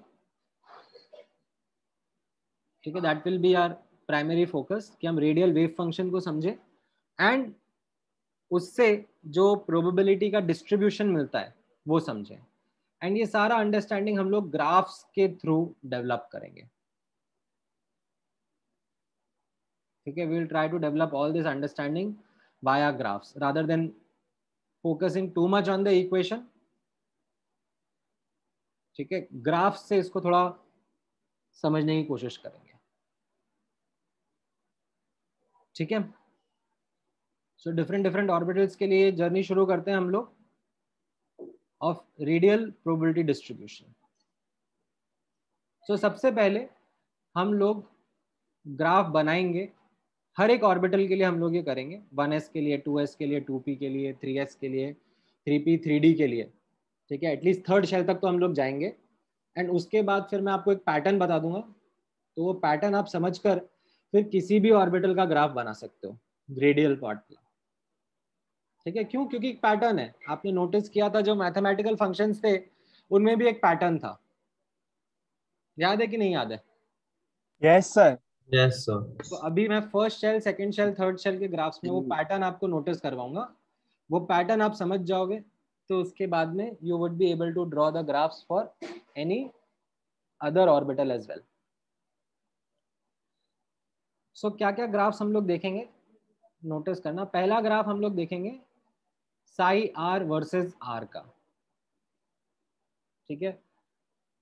What will be the meaning of this graph we will be actually drawing amplitude ठीक है? ये जो साई आर है ये क्या है? Amplitude so will be drawing the of the radial function with the distance from the nucleus तो let say मैं वन एस ऑर्बिटल के लिए ठीक है? For one s orbital I am going to draw this graph psi r versus r. ठीक है so what I will be doing is that I will putting different different values of r in the wave function. ठीक है जो वो मेरा याद है वो ग्रीन में अभी मैंने लिखा था? ठीक है वो इक्वेशन थी पूरी। तो उसमें मैं क्या करूँगा? Different different values of r डालूँगा। और उन डिफरेंट वैल्यूज़ ऑफ़ आर के करस्पॉन्डिंग क्या क्या वैल्यूज़ ऑफ़ एम्पलीट्यूड आएँगी वो मैं प्लॉट करूँगा। और जब मैं वो प्लॉट करूँगा तो वो ग्राफ बन जाएगा। है कि नहीं? हाँ सर तो वो आपको मैं करवाऊँगा। Not just for one s orbital but first shell second shell third shell तीनों शेल के ऑर्बिटल्स के लिए। तो that will be the first graph that I would want you to be comfortable with ठीक है? Yes sir then second graph would be psi square versus r. ठीक है? Psi square versus r will be simply जो वो values आई उनको square कर देंगे। अगर ग्राफ ड्रॉ करने के बारे में बात करें तो उनको सिंपली स्क्वायर कर देंगे। बट इसका मीनिंग क्या रहेगा? Because psi square hold meaning what does it hold meaning it hold it if probability radial probability density ठीक है? It would mean radial probability density of the wave function with the distance from the nucleus. How at different different locations from the nucleus radial probability density would be. ठीक है? Use यहाँ पर notice करना मैंने radial word घुसा दिया है। क्यों घुसा दिया है? आर दिया क्योंकि हम लोग सिर्फ़ रेडियल पार्ट पे फोकस कर रहे हैं। एंगुलर पार्ट हमारे बस का नहीं है। ठीक है? टोटल प्रोबेबिलिटी कैसे आएगी? रेडियल और एंगुलर को मल्टीप्लाई करके बट एंगुलर हमारे बस का नहीं है। हम लोग रेडियल के ऊपर ही फोकस कर रहे हैं राइट नाउ ठीक है? And at least for the s orbitals for the s orbitals we can very well say that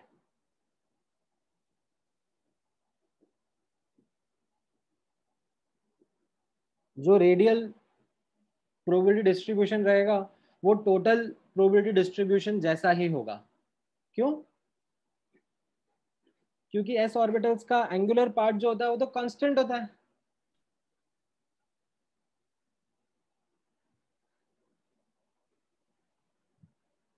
है कि नहीं? Yes, sir.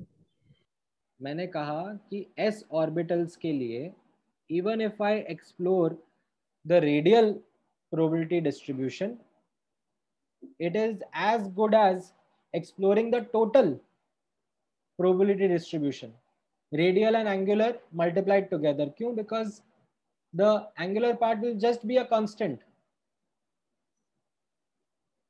क्योंकि एस ऑर्बिटल में थीटा और फाइव का टर्म नहीं होता ना? Yes sir yes sir yes sir ठीक है। All right. Now having said this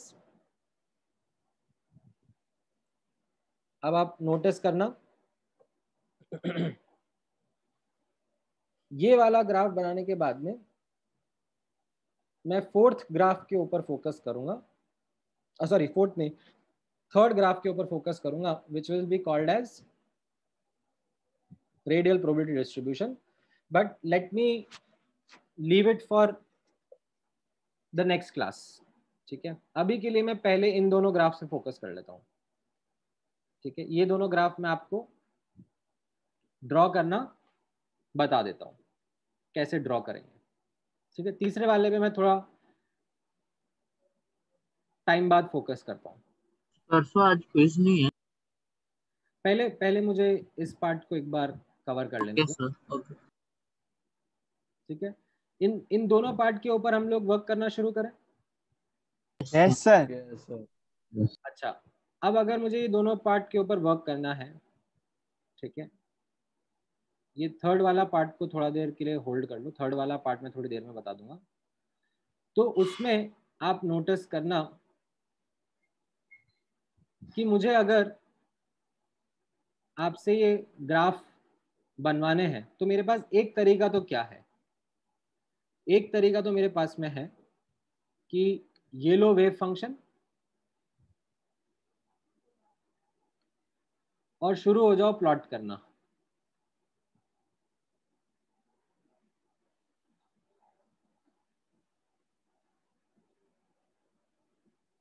are का वैल्यू ज़ीरो डालो। करस्पॉन्डिंग जो साय का वैल्यू आएगा उसको मार्क करो। फिर आर का value point one point two point three डालते रहो एंड जो भी फिर साय आर का वैल्यू आएगा वो प्लॉट करते जाओ। तो ग्राफ बन जाएगा? है कि नहीं? सर बन जाएगा सर पर वो बहुत बन जाएगा but like too much too much of मजदूरी हो जाएगा ना। यस सर सर आप एक और बार बता सकते हो कैसे बनाने का है? अरे मैं आपको कोई भी फ़ंक्शन दूँ y इज़ इक्वल टू से के ई की पावर माइनस एक्स ऐसा फ़ंक्शन दूँ और बोलूँ दैट y वर्सेस x का ग्राफ बनाना है तो आप कैसे बनाओगे? आप x की वैल्यू ज़ीरो डालोगे फिर y का वैल्यू निकालोगे फिर x का वैल्यू वन डालोगे फिर y अच्छा ठीक है सर ठीक है। ऐसे ही बनाते हैं ना कोई सा भी ग्राफ ऐसे ही बनाते हैं। यस सर तो अगर मैं आपको ये वन एस ऑर्बिटल का ग्राफ ड्रॉ करने के लिए बोलूँ तो आप यही मजदूरी करना शुरू करना चाहोगे? हाँ सर। नहीं sir. which you sir. can do. इतना सारा मजदूरी कौन करेगा सर? हाँ तो इसको अवॉइड करने के लिए अब यहाँ पर आपके पास में एक नोटिस करने एस्पेक्ट नोटिस करने वाला एस्पेक्ट जो है वो ये है that there is a pattern ठीक है? When drawing this graph there is a pattern what is that pattern let's figure out that pattern ठीक है? तो वो pattern observe in psi r versus r का ग्राफ किस तरीके से है? At r equal to zero आपको जो पैटर्न फिगर आउट होगा,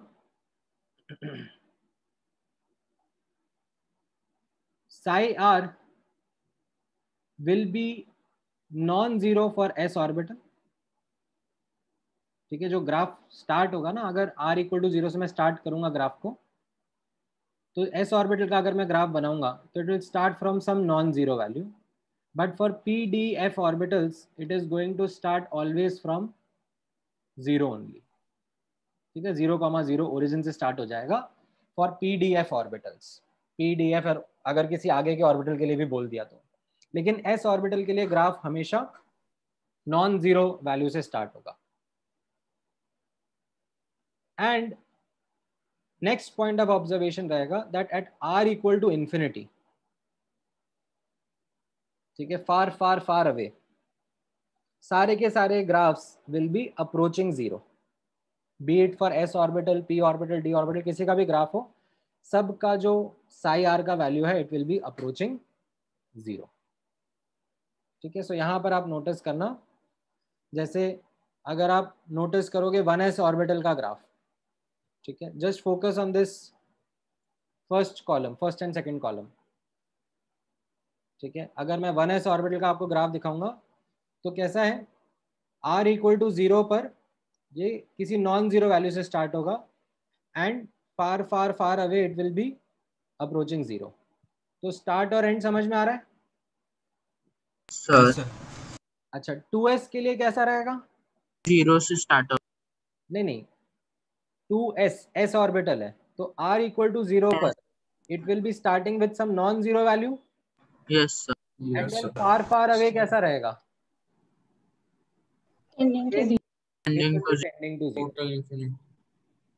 ठीक है? बीच में क्या होगा वो मैं समझाऊँगा। अभी पहले मैं एक्सट्रीमिटीज समझा रहा हूँ आपको स्टार्ट और एंड में कैसा रहेगा। अगर मैं टूपी का ग्राफ देखूँगा तो टूपी के ग्राफ में कैसा होगा? ज़ीरो से स्टार्ट ज़ीरो से स्टार्ट और फार फार अवे क्या होगा? एंडिंग टू ज़ीरो ज़ीरो ठीक है सो ज़ीरो से स्टार्ट होगा and far far away will be tending to zero तो रीजन क्या है उस स्टार्ट होने का ज़ीरो से? वो सब इनका वेव फ़ंक्शन है। मैं तो आपको सिर्फ़ पैटर्न फिगर आउट करवा रहा हूँ। रेडियल नोड अगर आप केवल एस में नॉन ज़ीरो बाकी सब में ज़ीरो है। हाँ हाँ तो आप देखोगे ना यहाँ पे टू पी में कैन यू सी दैट ऐसे सिग्मा मल्टीप्लाई हो रहा है? सर तो अगर आर इक्वल टू ज़ीरो होगा तो सिग्मा इक्वल टू ज़ीरो होगा। सिग्मा इक्वल टू ज़ीरो पर क्या हो जाएगा? ये फ़ंक्शन ज़ीरो हो जाएगा ना? यस सर एस ऑर्बिटल्स में नहीं होता। एस ऑर्बिटल में जैसे आप सिग्मा ज़ीरो पुट कर दोगे तो भी वो टू हो जाएगा समझ में आ गया। नॉन ज़ीरो वैल्यू रहेगी ना? यस ठीक है तो मैं आपको पैटर्न फिगर आउट करवाने वाला हूँ। अगर आपका बार बार ये क्वेश्चन आएगा कि ऐसा क्यों हो रहा है तो उस क्यों का answer everything lies in this function itself Yes. ठीक है? अच्छा अगर मैं आपको बोलूँगा लेट से थ्री एस का ग्राफ तो थ्री एस का ग्राफ क्या होगा? ज़ीरो वैल्यू से स्टार्ट सर नॉन ज़ीरो से स्टार्ट होके नीचे जाके ऊपर आके फिर टेंडिंग टू ज़ीरो स्टार्ट और एंड मुझे समझ में आ रहा है। बीच का मैं थोड़ी देर में समझाऊँगा बट नॉन ज़ीरो से स्टार्ट होगा एंड फार फार अभी भी ज़ीरो पे चला जाएगा है ना? तो ये ये डेटा पॉइंट समझ में आया आपको ये पैटर्न ठीक है yes sir at r equal to zero and r equal to infinity क्या हो रहा है? अब बीच में नोटिस करना। ठीक है बीच में क्या होता है? बीच में जितने रेडियल नोड्स होंगे ऑर्बिटल के उतनी जगह एम्पलीट्यूड ज़ीरो होगा। यानी कि जो ग्राफ है वो एक्स एक्सिस को कट करेगा और साइन चेंज करेगा। पॉजिटिव से नेगेटिव जाएगा या नेगेटिव से पॉजिटिव जाएगा, जितने रेडियल नोड्स होंगे उसके हिसाब से ऐसा होगा। ठीक है तो ये लास्ट वाला पॉइंट याद रखेंगे हम लोग। जितने रेडियल नोड्स होंगे, उतनी बार जो ग्राफ है, वो एक्स एक्सिस को कट करेगा। ठीक है, वहाँ पर जो एम्पलीट्यूड है वो ज़ीरो हो जाएगा एंड देन एम्पलीट्यूड अपना साइन भी चेंज कर लेगा। पॉजिटिव से नेगेटिव या नेगेटिव से पॉजिटिव हो जाएगा। Sir, R equal to zero will be at nucleus. हाँ of course Just when s orbital at nucleus also there's probability of finding electron. नहीं नहीं वो वो मैं बताऊँगा। अभी जस्ट साइज़ अभी मैंने क्या है साई और साई स्क्वायर के बारे में बात करी है। जो प्रोबेबिलिटी कैलकुलेशन है उसमें वो वॉल्यूम से मल्टीप्लाई करना पड़ता है ना। ठीक है? वो मैं अगली क्लास में कराता हूँ। आज उतना टाइम नहीं रहेगा हमारे पास में। तो अभी के लिए I just focus on amplitude and probability density ठीक है? तो मैं आपका क्वेश्चन समझ गया and I will help you solve that question also ठीक है? अभी के लिए उसको होल्ड पे रख लो। तो ये स्टार्ट और एंड तो समझ में आया और ये मिडिल वाला पार्ट समझ में आ रहा है? मिडिल Yes, वाला. पार्ट हाँ, जितने जितने रेडियल नोड्स होंगे रुति बार ज़ीरो से कट होते हुए जाएगा हाँ। ग्राफ जो है वो एक्स एक्सिस को कट करेगा वहाँ पर एम्पलीट्यूड का वैल्यू ज़ीरो होगा एंड एम्पलीट्यूड का साइन भी चेंज होगा ठीक है? सो वापस से ऑब्ज़र्व करते हैं। वन एस में क्या कोई नोड होता है? रेडियल नोड होता है? नहीं होता। अब आप नोटिस करोगे for r equal to zero graph कहीं ऊपर से नॉन ज़ीरो से स्टार्ट हुआ and r equal to infinity पर इट अप्रोच ज़ीरो एंड बीच में it didn't do anything it didn't cut the x axis ये जस्ट यहाँ से यहाँ ऐसे लाइक like कर्वेचर के मैनर में चला गया। ठीक है? ऐसा कर्वेचर क्यों था? बिकॉज़ ये इस तरीके का ग्राफ था। ठीक है? अगर आप इसका फ़ंक्शन देखोगे तो वो ऐसे एक्सपोनेंशियल ग्राफ था। याद है कि नहीं याद है? यस सर यस सर देखोगे ना वन एस का ग्राफ तो इसमें ये y है ठीक है? और ये e की power minus you know a x ऐसा कुछ है? ये कांस्टेंट है k और ये इसके साथ में कांस्टेंट्स है a राइट यस सर कैसा रहता है? x का वैल्यू बढ़ाते रहोगे आप तो y का वैल्यू कम होता रहेगा एक्सपोनेंशियल डीके होता रहेगा। ठीक है? सो So, अच्छा अभी रुक जाओ। 2s का ग्राफ आपको मैं सोचने के लिए बोलूँगा। How many radial nodes are there in 2s So one. One. One. there is one radial node so something is now going to happen in between what is that something that is going to happen in between यहाँ पे आप notice करना cut होगा Cut the x-axis. ये graph नीचे जाएगा ठीक है it will start from some non-zero value but then it will cut the x-axis जहाँ पर ये कट करेगा वहाँ पर क्या हो रहा है radial node radial node present होगा ठीक है रेडियल नोड प्रेजेंट होगा ठीक है? And you can also notice that इसके पहले एम्पलीट्यूड पॉजिटिव था इसके बाद एम्पलीट्यूड नेगेटिव हो गया। यस सर यस ठीक है? And then finally it is again going to approach zero far far away जाएगा it is going to approach zero समझ में आया ये yes sir all right now what about 2p का ग्राफ does 2p में 2p sir- have any radial node? No, sir. No sir right? 2p माने 2 minus l minus 1 यानी कि 2 minus 1 minus 1 there is no radial node. है कि नहीं? Yes, sir. तो फिर इसमें ग्राफ लाइक बीच में कहीं पे भी ऐसे कटवट नहीं करेगा। एंड yes, हमने सीखा है कि 2p में जो है वो ग्राफ ओरिजिन से स्टार्ट होगा फार फार अवे भी ज़ीरो चला जाएगा। ठीक है? तो ये कैसा होगा जस्ट इंक्रीज करेगा और डिक्रीज करेगा। ठीक है? It will not cut anywhere in between ठीक है? अब आप मुझसे पूछो कि सर ये ऐसा इंक्रीज और डिक्रीज क्यों कर रहा है? तो जब आप इसका वेव फ़ंक्शन देखोगे तो वो ऐसा है, y is proportional to r into e की पावर माइनस आर ठीक है? इस तरीके का फ़ंक्शन है। तो इसमें क्या होता है? अगर r बढ़ाएँगे तो ये टर्म बढ़ेगा और ये टर्म घटेगा। स्टार्टिंग में ये डोमिनेट करता है इसलिए ग्राफ चढ़ जाता है। फिर थोड़े टाइम बाद ये डोमिनेट करता है इसलिए ग्राफ नीचे उतर जाता है। वो उसका इक्वेशन है। अब उस इक्वेशन की डिटेल में तो हम जा नहीं रहे बस इतना हमको समझना है कि स्टार्ट में ज़ीरो है एंड में ज़ीरो है और बीच में कहीं पर भी ज़ीरो नहीं है। कोई सर वो डोमिनेट इसलिए करता है क्योंकि सर वो एक्सपोनेंशियल है ना दूसरा टर्म और पहला वाला लीनियर है। हाँ हाँ हाँ। तो for larger values the exponential term starts dominating ठीक है?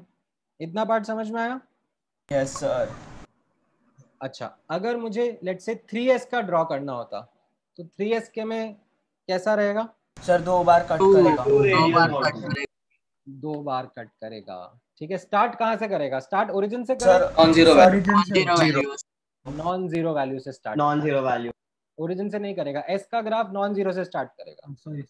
And then far far away it will again approach zero और बीच में थ्री एस में कितने रेडियल नोड है? दो दो सर। दो। तो थ्री दो बार कट दो बार कट करेगा। ठीक है तो आप यहाँ पे नोटिस करोगे। स्टार्ट नॉन ज़ीरो वैल्यू से कर रहा है फार फार अवे भी ज़ीरो जा रहा है। और अब कैसे करेगा? यहाँ से ऊपर से आएगा नीचे एक बार कट करा।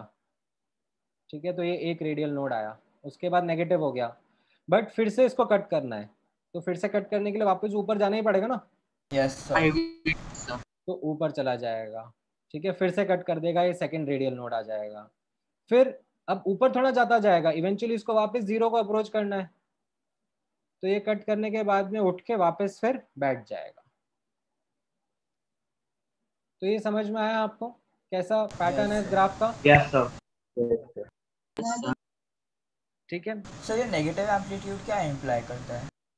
नहीं इट्स जस्ट दैट हम लोग जैसे आपको विजुअलाइजेशन मैंने वो वाला बताया था कि हम लोग खूब सारे लोग एक चादर होल्ड करके रखे हैं और फिर उसको ऊपर नीचे लाइक ऑसिलेट कर रहे हैं। हाँ सर हाँ सर इसमें क्या होता है ना एम्पलीट्यूड डिफाइन करने में कन्वेंशन होता है। ऊपर को मैं पॉजिटिव बोल दूँगा नीचे को नेगेटिव बोल दूँगा। सर तो उसमें प्रोबेबिलिटी से कोई फ़र्क नहीं पड़ता ना सिर्फ़ एम्पलीट्यूड ऊपर नीचे हो जाता है। हाँ हाँ हाँ। तो इसीलिए हम लोग स्क्वायर करते हैं ना। तो Okay, अगर तो स्क्वायर इसीलिए करा जाता है एम्पलीट्यूड का because that is what matters sign doesn't matter in calculation of probability ठीक है? सो हाँ। तो न्यूक्लियस पे तो probability of finding an electron zero होता है ना? तो फिर आर इक्वल टू ज़ीरो पे एस के लिए वो नॉन ज़ीरो वैल्यू क्यों होता है? अब भी थोड़ी देर पहले यही तो डाउट किसी ने पूछा था। मैंने बोला- मेरा नेटवर्क बहुत खराब है सर आपकी आवाज़ अभी भी बहुत चौपी आ रही है। अच्छा अच्छा। तो ये हम लोग कल की क्लास में डिस्कस करेंगे। That psi for s orbitals amplitude is non zero but the probability is going to be zero यही क्वेश्चन है ना आपका? Yes psi for s orbital at r comma zero that is at nucleus amplitude is non zero but the probability is zero ठीक है? वो मैं आपको अगली क्लास में बताता हूँ। ठीक है सर अच्छा। थ्री पी का ग्राफ कैसा रहेगा? Can you take an attempt एक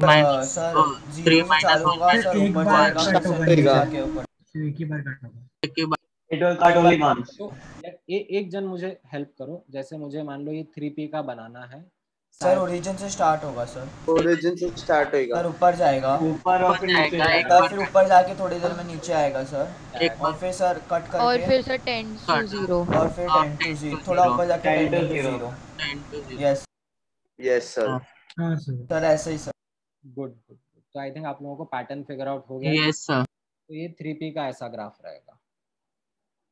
ठीक है? Will be Yes. one radial node and across it this is how the wave function will progress. ठीक है? अच्छा। Yes sir what about 3D 3D का ग्राफ कैसा रहेगा? सर सर एक भी एक भी बार कट एक भी बार ऊपर कट नहीं जाएगा Origin सर से और शुरू ऊपर जाएगा। वापस नहीं जाएगा टेंडिंग टू ज़ीरो होगा। ऊपर सर ऊपर ज़ीरो से स्टार्ट होगा बाद में वापस। इसमें there will be no radial node no sir ठीक है स्टार्ट में ज़ीरो एंड में zero end then it will approach ठीक है अगर let's say I ask you to draw for 7f seven minus sir sir एक बार कैलकुलेट करना हाँ। हाँ sir three radial nodes three radial तीन बार कट करेगा सर सर तीन बार कट करेगा। ज़ीरो से स्टार्ट होगा तीन बार कट करके वापस टेंडिंग राइट सो यहाँ एकदम ऊपर जाएगा सर ज़ीरो से स्टार्ट करेगा क्योंकि f ऑर्बिटल है ना ज़ीरो से स्टार्ट करना हाँ सर सर ज़ीरो से स्टार्ट करके काफ़ी ऊपर जाएगा सर सर फिर नीचे आएगा सर फिर कट करेगा। सर फिर उसके बाद कम नीचे जाएगा।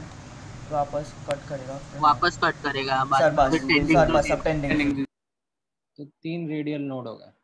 यस सर ऐसे सर सर ठीक है समझ में आया ये? यस सर सेवन एफ़ कैसे करा अपन ने? Yes sir pattern figure out हो पा रहा है। अब मैं किसी भी ऑर्बिटल का ये ग्राफ बनाने के लिए बोलूँगा आप कर लोगे? यस हाँ सर सर हाँ सर कर लेंगे। और फिर साइज़ स्क्वायर में क्या करना है? कुछ नहीं करना बस जो नेगेटिव सर पॉजिटिव उसको बस नेगेटिव पे नहीं लेके जाना है सर ठीक है जो भी नेगेटिव था उस सबको पॉजिटिव बना देने का है।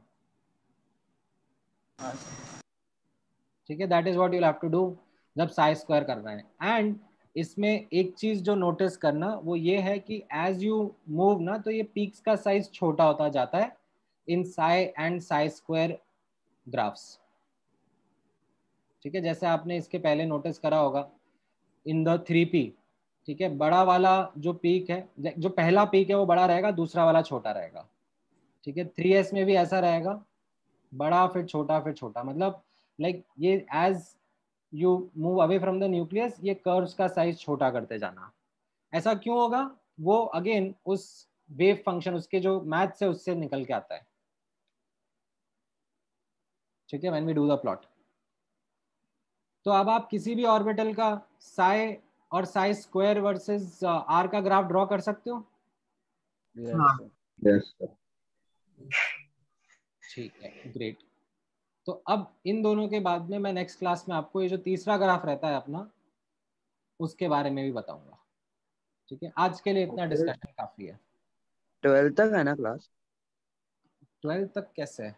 ट्वेल्थ तक है क्या क्लास हाँ सर वापस वही कर दिया टाइम टेबल में। हाँ, सर वो डाउट डिस्कशन दो घंटे। का होता है क्योंकि। अच्छा अच्छा अच्छा। तो चलो ठीक है आज मेरी क्लास नहीं है इसके बाद में तो मैं तो खींच लेता हूँ। यस हाँ सर चलेगा सर खत्म कर चलेगा सर चलेगा सर चलेगा। जितने जल्दी खत्म होगा सर अच्छा है सर। चलो चलो, ठीक है ठीक है। तो आई थिंक अच्छा है कंटिन्यूटी में रहेंगे अपन लोग। तो मैं ये थर्ड वाला भी आपको करा देता हूँ। अब नोटिस करना, ठीक है? Notice one more thing now हम लोगों ने, एक मिनट साई वर्सेस आर का graph and psi square versus r का ग्राफ ये दो ग्राफ फिगर आउट कर लिए हैं for different different orbitals now psi versus r के ग्राफ से क्या मिलता है? एम्पलीट्यूड और साई स्क्वायर वर्सेस आर के ग्राफ से क्या मिलता है? प्रोबेबिलिटी रेडियल रेडियल प्रोबेबिलिटी ठीक है? अब अगर मुझे प्रोबेबिलिटी निकालना होगा ठीक है? If I want to talk about the probability not probability density probability तो मुझे क्या करना पड़ता है? याद है ऊपर कुछ करा था अपन ने? तो वॉल्यूम के साथ integrate multiply by volume right ये जो साइज़ स्क्वायर है उसको वॉल्यूम के साथ में मल्टीप्लाई करना पड़ेगा। यस तो अब नोटिस करना that I am going to do that ठीक है कैसे? साइज़ स्क्वायर ठीक है is equal to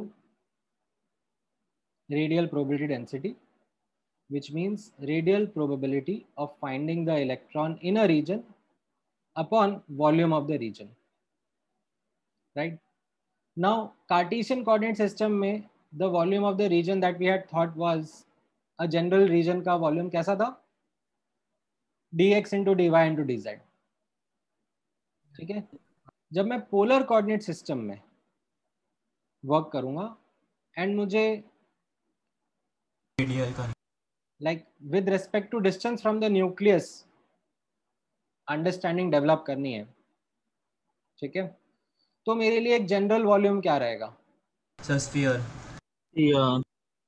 ठीक है? तो यहाँ पर नोटिस करना the general volume will be the volume of a thin spherical shell ठीक है? यहाँ पर नोटिस करना the volume of a region around the nucleus is the volume of a thin shell at a distance r from the nucleus. So यहाँ पर nucleus मेरा origin पर है इससे किसी जनरल r डिस्टेंस पर एक thin shell of thickness dr ये मेरा जनरल वॉल्यूम हो जाएगा समझ में आया Yes, sir. general volume of a region around the nucleus ठीक है in polar coordinate system is volume of this thin shell at a distance r from the nucleus. Thickness इसका dr रहेगा। तो अब मैं इसका वॉल्यूम कैसे निकालूँगा? Outer sphere minus inner sphere का वॉल्यूम आउटर स्फीयर का वॉल्यूम क्या हो जाएगा? Four by three pi into r plus d r का क्यूब और इनर स्फीयर का four by three pi r जब आप ये a cube minus b cube को ओपन अप करोगे और ये अप्रोक्सीमेशन यूज़ करोगे that d r is much much less than r तो you will be left with this as the answer four pi r square into d r ये आप और भी तरीके से सोच सकते हो। ठीक है? कैसे? Do you remember that volume can also be written as surface area into thickness the surface area is going to be how much 4 pi r square four. Pi square Yes, sir. and thickness कितनी है dr हाँ, sir. तो ऐसे भी लिख सकते हैं square समझ में आया Yes, sir. सो so, अब अगर मुझे radial probability of finding the electron निकालना है तो ये वॉल्यूम ऑफ़ रीजन में यहाँ पे लिख दूँ four pi r square d r. और फिर इस four pi r square d r को लेफ़्ट हैंड साइड पे लेके चले जाऊँ sir. Yes. Right and integration करूँगा तो उससे मुझे क्या मिल जाएगा. प्रोबेबिलिटी ऑफ़ फाइंडिंग इलेक्ट्रॉन ठीक है? अब लेट से इसको मैं थोड़ा सा एक लाइन और आपके लिए एलैबोरेट कर देता हूँ। If I put the limits from 0 to infinity what do you think the answer is going to be? One one. ha right? So say if i put the limits from 0 to infinity what would that mean One. One. One it would mean Hundred percent. ideal probability of finding electron ठीक है in what region sir zero to zero to Zero to infinity. between 0 and infinity तो वो तो क्या होगा one ही होगा ना हाँ सर हंड्रेड परसेंट sir. ठीक है? सर मिलेगा ही sir right if I ask you to do this thing ठीक है? मैं कैलकुलेशन तो आपसे नहीं करवाऊँगा बट एटलीस्ट आपसे ये इंटरप्रिटेशन तो समझ ही सकता हूँ। If I put the limits from some zero to r one तो what will that mean So radial probability from in the E minus probability of finding electron in Region zero to zero zero Zero to to R r one R one. R one. बढ़िया है यार आप लोग तो एकदम फटाफट फटाफट सीख गए। Radial probability of finding electron in region between zero and r one ठीक है तो मतलब ये ज़ीरो एंड आर वन के बीच का रीजन क्या होगा? ये ज़ीरो और ये आर वन तो इसके बीच में लाइक like, इस रीजन के अंदर मेरी प्रोबेबिलिटी है कि नहीं? So yes sir so question हाँ. So so to find that exact value you have to plug in the value ना like plug it in that wave function equation so you that integral you will integrate it first first you will yeah and then i'll uh, solve it. Then you put the limits. Integral solve karna sikha diya na yes sir Yes, sir. हाँ, yeah, yeah. sir. Limits पहले थोड़ा डालते राजा। Limits तो integral solve करने के बाद डालते ना। Sir, गलती से बोल दिया सर गलती से। ठीक है। सो इस तरीके से ये प्रोबेबिलिटी कैलकुलेट करी जाती है ठीक है? अब आपको आपको मैं इंटीग्रेशन नहीं करवाऊँगा क्योंकि इंटीग्रेशन आपके बस का नहीं है। This integral is not something which you will be able to do ठीक है it's a pretty complicated integral but इस तरीके से अब निकाला जाता है। ठीक है? अब इतना पार्ट आपको समझ में आया? Yes, sir. अच्छा अब नोटिस करना ठीक है जो ये थर्ड ग्राफ यहाँ पे ड्रॉ करा जाता है। ठीक है? ये थर्ड ग्राफ ड्रॉ करा जाता है between psi square four pi r square versus r ठीक है? एक सेकेंड दो, मैं इसको वहीं पे चिपका देता हूँ। ठीक है, जो ये थर्ड ग्राफ ड्रॉ करा जाएगा।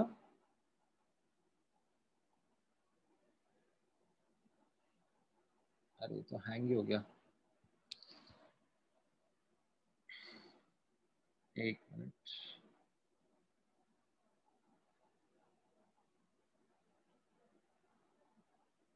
हम्म।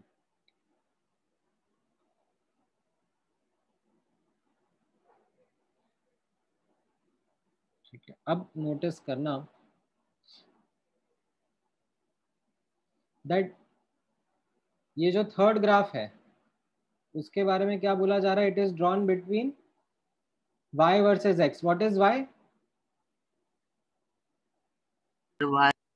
Psi square four pi r square and r so can you see that area under the graph which is integral y dx? X it will give me the probability of finding the electron radial probability of finding the electron? Yes sir. ठीक है तो ये जो third graph हम लोग draw करेंगे different different orbitals के लिए that will be a graph between psi square four pi r square versus r ठीक है such that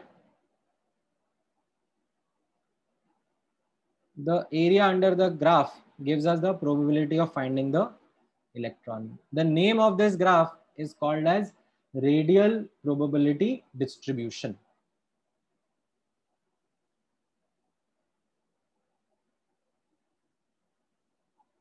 ठीक है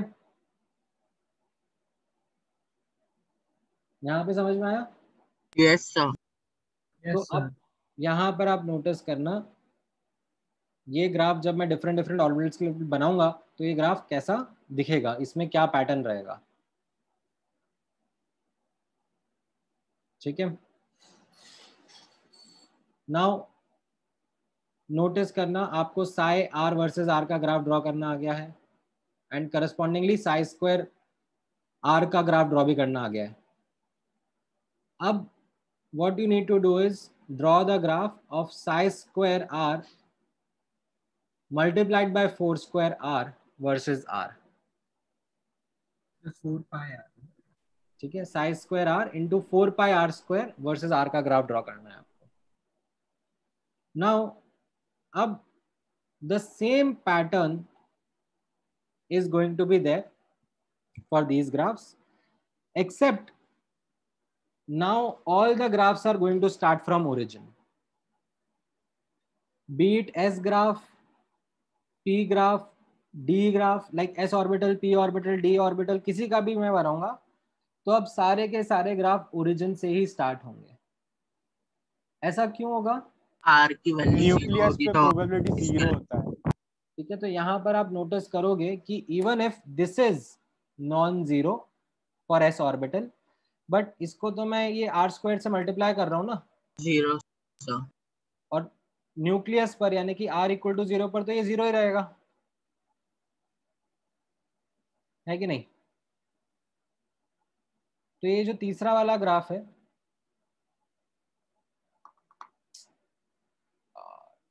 क्या हो रहा है? एक मिनट मुझे बाकी प्रोसेसेस बंद करने दो। हम्म। तो ये जो तीसरा वाला ग्राफ है ये हमेशा ओरिजिन से ही स्टार्ट होगा? Yes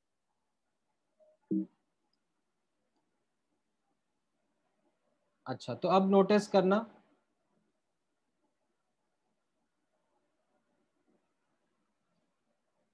If I would draw this graph for 1s orbital तो ये 1s orbital के लिए कैसा रहेगा?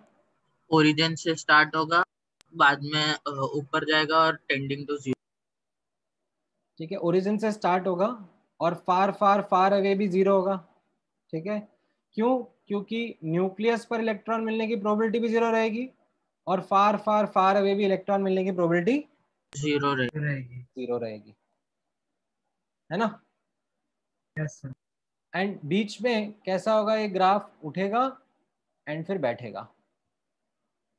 इस तरीके से आपका ये ग्राफ रहेगा for one s orbital this is called as what this is called as the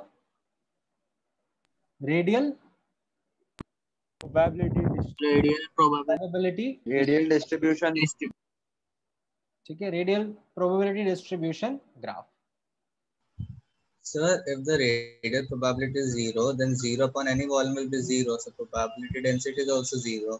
नहीं नहीं नहीं नहीं. ऐसे चिकन से एग आता है एग से चिकन आता है. ठीक है वैसा कंफ्यूजन मत क्रिएट करो. पहले प्रोबेबिलिटी डेंसिटी आती है उससे फिर प्रोबेबिलिटी का कैलकुलेशन होता है। ठीक है so don't go in the reverse manner समझ में आया तुम्हें आंसर ओके सर सो यहाँ पर ऑब्ज़र्व करना। ये जो ग्राफ है वन एस ऑर्बिटल का। कैसा दिखेगा? Psi square four pi r square. ठीक है, फोर पाई स्क्वायर नहीं है, क्या लिख देते हैं यहाँ पे यार? एक minute. Psi square into four pi r square. ठीक है, नॉट पाई स्क्वायर। इंटू और वर्सेस आर। ठीक है एक्चुअली ठीक है, वर्सेस आर तो लिखा हुआ है। वन एस ऑर्बिटल के लिए कैसा रहेगा? It will start from origin and far far away भी ज़ीरो रहेगा। न्यूक्लियस पर प्रोबेबिलिटी ज़ीरो रहेगी फार फार फार अवे भी प्रोबेबिलिटी ज़ीरो रहेगी। बीच में इंक्रीज करके डिक्रीज करेगा। ठीक है? ये समझ में आया? यस ये जो इंटायर वाई एक्सेस है इसको हम लोग क्या कहते हैं? इंटायर वाई एक्सिस को वी कॉल एज ठीक है रेडियल प्रोबेबिलिटी प्रोबेबिलिटी डिस्ट्रीब्यूशन ठीक है मैंने ऊपर हाईलाइट कराया हुआ है बट फिर से हाईलाइट कर देता हूँ। This is called as radial probability distribution ठीक है इसके पहले वाले जो ग्राफ्स थे ठीक है इसमें आर स्क्वायर को क्या बोलते थे हम लोग? What was r square called as amplitude amplitude नहीं नहीं r square radial radial probability density density density हाँ radial probability density ठीक है r को क्या बोलते थे जस्ट psi r को amplitude ठीक है amplitude amplitude of radial radial wave function ठीक है समझ में आया नहीं आया? सर समझ सर समझ में आया। ठीक है? तो अब यही पैटर्न जो हमने ऊपर समझा था for the first and the second graph वही पैटर्न यूज़ करते हुए हमें बाकी सब ऑर्बिटल्स के बारे में भी ड्रॉ करना रहेगा। ठीक है? ये वन एस ऑर्बिटल के लिए जस्ट एक important point which I would want you to remember ठीक है? I am not actually solving details I am not actually getting into a lot of maths of it but अगर कोई पूछे ठीक है? दैट कौन सी लोकेशन पर कितना डिस्टेंस फ्रॉम द न्यूक्लियस पर ये ग्राफ का मैक्सिमा हिट करता है? ये ग्राफ का मैक्सिमा हिट करने का मतलब होगा कि यहाँ पर maximum probability of finding the electron रहेगा। ठीक है? डिफरेंट डिफरेंट लोकेशन पर डिफरेंट डिफरेंट प्रोबेबिलिटी रहेगी। ठीक है? अगर मैं किसी एक डिस्टेंस तक चले जाऊँ। ठीक है total area under the graph कितना रहेगा? हंड्रेड परसेंट तो area under the graph was the probability of finding the electron yes sir है ना? तो total area under this graph will be equal to one yes sir so do you do you know 90 percent कहाँ तक आ जाता है? Sir जा आपको of course नहीं आता ना आपने थोड़ा मैथ्स करी है बट मैं बता देता हूँ कि समवेयर यहाँ पर कोई एक वैल्यू होगी। सर जा बहुत कम होते हैं? I think if I remember the value correctly i don't want you to remember that value. 2.68 angstrom पर ठीक है one s orbital hydrogen atom के लिए 2.68 एंगस्ट्रॉम पर जब हम एरिया कैलकुलेट कर लेते हैं तो वो 90 परसेंट आ जाता है 0.9 आ जाता है। तो this will be that boundary surface याद है अपन एस ऑर्बिटल की बाउंड्री सरफेस बनाते हैं? हाँ sir yes so this 2.68 will be that boundary surface. कि इसके अंदर अंदर इलेक्ट्रॉन मिलने का चांस 90 परसेंट है। ठीक है? बट वो कैलकुलेशन आपसे करवाई नहीं जाएगी अभी क्योंकि आपको वो इंटीग्रेशन वगैरह करना नहीं आता। तो equating it to point nine ये सब आपसे होएगा नहीं। सर मतलब मे बी ट्वेल्थ क्लास में। After you learn integration by parts तब वापस से आपसे ये कैलकुलेशन मैं करवाऊँ, ठीक है? But that will be almost towards the end of twelfth class when you will study integration and maths ठीक है? फिजिक्स वाला इंटीग्रेशन नहीं फिजिक्स वाला इंटीग्रेशन तो बेसिक कैलकुलस पढ़ाया गया आपको। थोड़ा हार्ड कोर इंटीग्रेशन आपको करवाएँगे ट्वेल्थ क्लास में, तब you should be able to take a shot at this and उसमें भी थोड़ी हेल्प लगेगी ताकि आप कर पाओ। बट एनीवेज अभी के लिए just wanted to give you an idea ठीक है?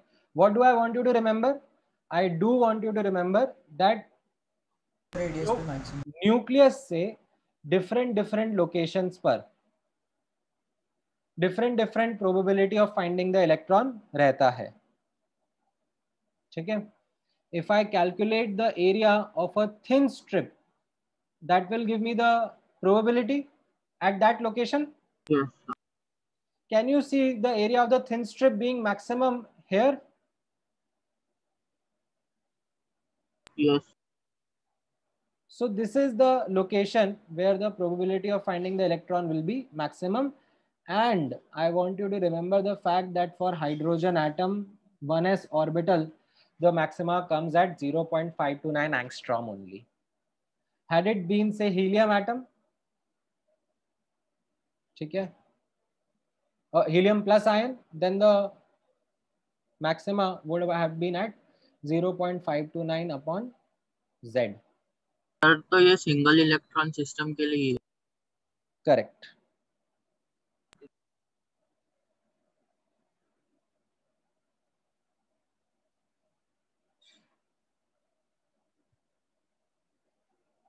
यहाँ तक का पार्ट समझ में आया अच्छा अगर यही ग्राफ लेट से अब मैं आपसे बोलूँगा to draw for the one s two s two s orbital के लिए ड्रॉ करने के लिए बोलूँगा तो कैसा रहेगा? What will be your attempt sir वो ऊपर जाएगा सर सर फिर बीच में आएगा फिर सर वो नीचे आके टच करके फिर से ऊपर जाएगा। और फिर नीचे टेक्निक ठीक है ग्राफ ओरिजिन से स्टार्ट होगा। हाँ सर ऊपर जाएगा। फार फार अवे भी ज़ीरो रहेगा। और इंक्रीजिंग पीक्स ना सर तो यहाँ पर पहले एक बार और एक रेडियल नोड होगा बीच में। यस सर सर तो एक बार ऊपर जाएगा फिर नीचे आएगा। नीचे क्या आएगा? क्योंकि नोड होगी यहाँ पर। रेडियल नोड होगी प्रोबेबिलिटी ज़ीरो होगी। देन फिर से बढ़ेगा। ठीक है? बढ़ेगा and then again finally zero approach कर लेगा। ये वाला जो लोकेशन है ये क्या रहेगा? रेडियल नोड ठीक है? एंड इसमें one thing to notice was that peaks का साइज़ इंक्रीज करता है। ठीक है? As we move away the size of these curves increases ऐसा क्यों होता है? वो इसके पीछे का मैथमेटिक्स है, वो इसके पीछे का इक्वेशन है। All you need to do right now is figure out that pattern only I don't want you to be really hardcore in terms of why this is छोटा, why this is बड़ा। I need you to be just comfortable with the nature of the graph कि ये कैसे रहेगा। यहाँ से उठेगा फिर बैठेगा नोड पे आएगा फिर उठेगा फिर बैठेगा। ये टू एस का ग्राफ समझ में आया? हाँ ठीक है। ग्रेट। टू पी का बना पाओगे?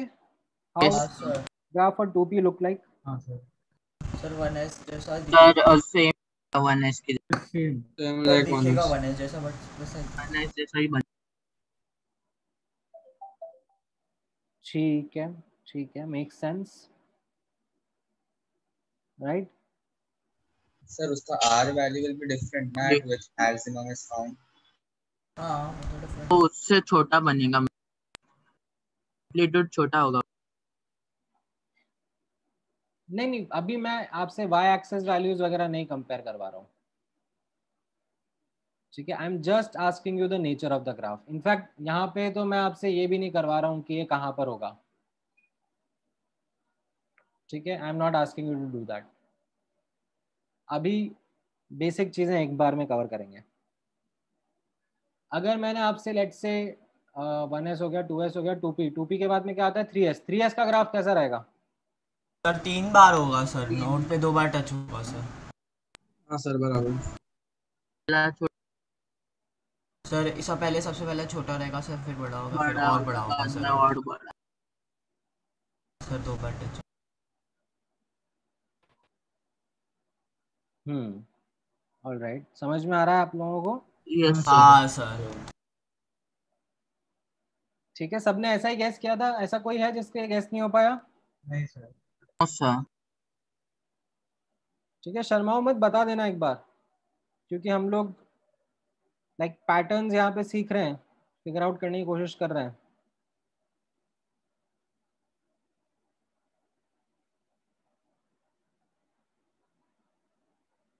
Okay sir the increasing height of the graphs that we don't know the reason behind it नहीं we do know that is actually because of the nature of the wave function ठीक है? How the wave function is अगर if I give you the wave function itself ये जैसे 3s का wave function लो कहाँ गया 3s 3s ये लो ठीक है? इसको 4 पाई आर स्क्वायर के साथ मल्टीप्लाई करो और प्लॉट करना शुरू कर दो। तो आपको समझ में आ जाएगा कि ऐसा क्यों हो रहा है। ठीक है? Okay sir yes sir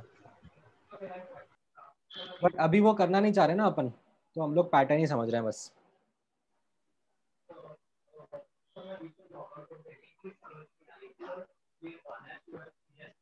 ठीक है अब लेट से आपको इतना समझ में आ गया। सेवन एफ़ सेवन एफ़ का ग्राफ ड्रॉ करके बता दो। सेवन एफ़ का कैसा रहेगा? सर तीन बार कट सही से। ऐसा ही ग्राफ रहेगा सेवन एफ़ का भी? यस सर हाँ सर नहीं सर सर इससे एक सर और एक ज़्यादा और बार कट करेगा चार बार हो चार बार होगा सेवन एफ़ में कितने रेडियल नोड्स आएँगे तीन होंगे ना? थर्टीन रेडियल नोट हाँ चार बार चार बार का चार पी का सर चार होगा सॉरी ठीक है? समझ में आया? यस यस सर ठीक है। So then now i think you are in a good position to be able to understand the pattern that we have seen behind these graphs किसी को कोई डाउट है कोई कंसर्न है और सर मेरा एक डाउट था हाँ तो मैं बीच में लॉग आउट हो गया समझ नहीं आया for the third third column so why does one s not start from zero one s and two s why does it start doesn't start from a non-zero value because even if this part is non-zero this is going to be zero ना हाँ yes sir if r is zero. हाँ। Okay sir understood. Thank you. ठीक है। ये pattern figure out करा आप लोगों ने? हाँ सर तो अच्छे से एक बार क्विकली इसका रिवीजन कर लेना। कल मैं इसी पे क्वेश्चंस आपको प्रैक्टिस कराऊँगा। सर ओके सर हाँ। हाँ बोलो बोलो। Sir, does sir does Hund's rule forbid any conflict does not violate the Pauli exclusion principle? दोबारा तुम्हारी आवाज़ कट गई सर अभी आवाज़ आ रही है हाँ हाँ तो सर ये क्वेश्चन है does Hund's rule forbid any configuration that does not violate the Pauli exclusion principle? Mm, does Hund's rule forbid Forbid any configuration that does not violate the Pauli's exclusion principle.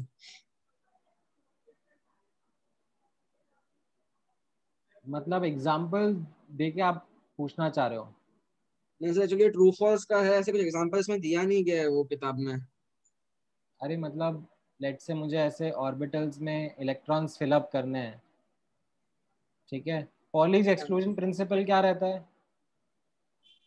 That I can max fill two electrons and that two in opposite spin yes sir और Hund's rule कहता है कि you don't need to pair in degenerate orbitals तो फिर आप क्या कहना चाह रहे हो कि Hund's rule forbid any configuration that does not violate the Pauli's exclusion principle.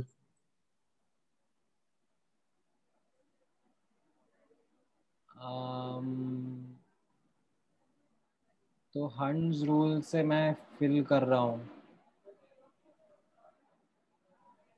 मतलब अगर मान लो मैं ऐसा फिल कर देता हूँ। हम्म। तो मैंने हंड्स रूल तो फॉलो करा। That I fill the electrons in the same energy orbitals and I did not do pairing till each of them were occupied by one electron at least Yes. then when it was the time कि अब मैं like like uh, ये electron fill करूँगा uh, sorry fourth electron तब मैंने ये Pauli's rule violet कर दिया मैंने सेम स्पिन का डाल दिया इसमें। हंस रूल नहीं वायलेट हुआ। ठीक है सर ये एक और डाउट है कि ये जो एनर्जी ऑफ़ ऑर्बिटल है does it vary with number जैसे कि मान लो the energy of 3d orbital may be greater than lesser than और equal to 4s depending upon the atomic number of the atom ये मतलब ऐसा होता है क्या? अगर सिंगल इलेक्ट्रॉन सिस्टम है तो 3D का एनर्जी 4s से कम होगा। सिंगल इलेक्ट्रॉन सिस्टम में? हाँ क्योंकि उसमें सिर्फ़ n पे डिपेंड करता है। तो sir principal quantum number is same as atomic number नहीं नहीं नहीं नहीं। बिल्कुल भी नहीं। तुमने मुझसे ये पूछा ना कि 3s और 4d 3d और 4s सॉरी 3d और 4s का एनर्जी लेवल हम्म। अगर मैं हाइड्रोजन एटम में देखता हूँ। हाँ। ठीक है याद है वो अपन ने करा था लॉन्ग बैक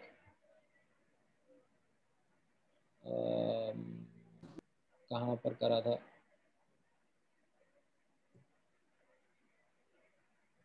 हाँ यहाँ पे अगर आप देखोगे थ्री एस और फोर फोर अगर फोर एस फोर एस इसके ऊपर होगा यहाँ पे होगा। जी सर। और थ्री डी नीचे है। बट। मल्टी इलेक्ट्रॉन में कैसा हो गया? फोर एस नीचे है थ्री डी ऊपर है। तो वेरी कर गया ना? ठीक है। और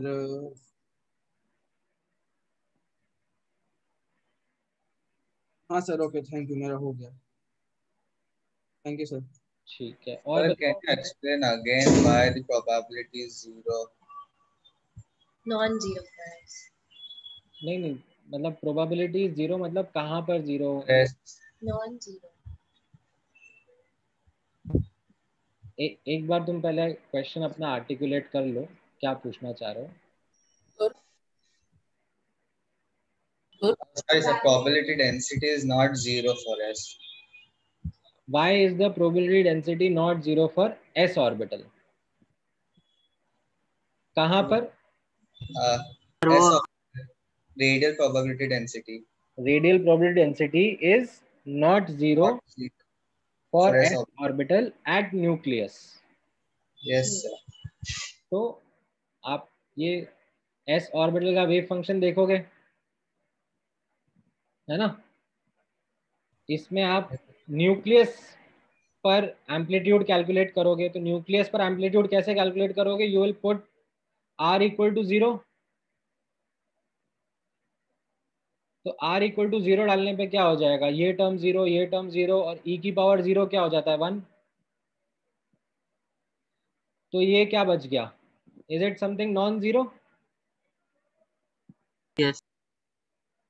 So that's why the amplitude is non-zero So, but if we try substituting it in the formula that probability density is equal to probability upon volume, then no, it should be no, zero. ना ना ना flow में जाना है flow में ठीक है ऊपर से नीचे आ रहे हैं ठीक है प्रोबेबिलिटी डेंसिटी से प्रोबेबिलिटी निकाल रहे हैं प्रोबेबिलिटी से प्रोबेबिलिटी डेंसिटी नहीं निकाल रहे हैं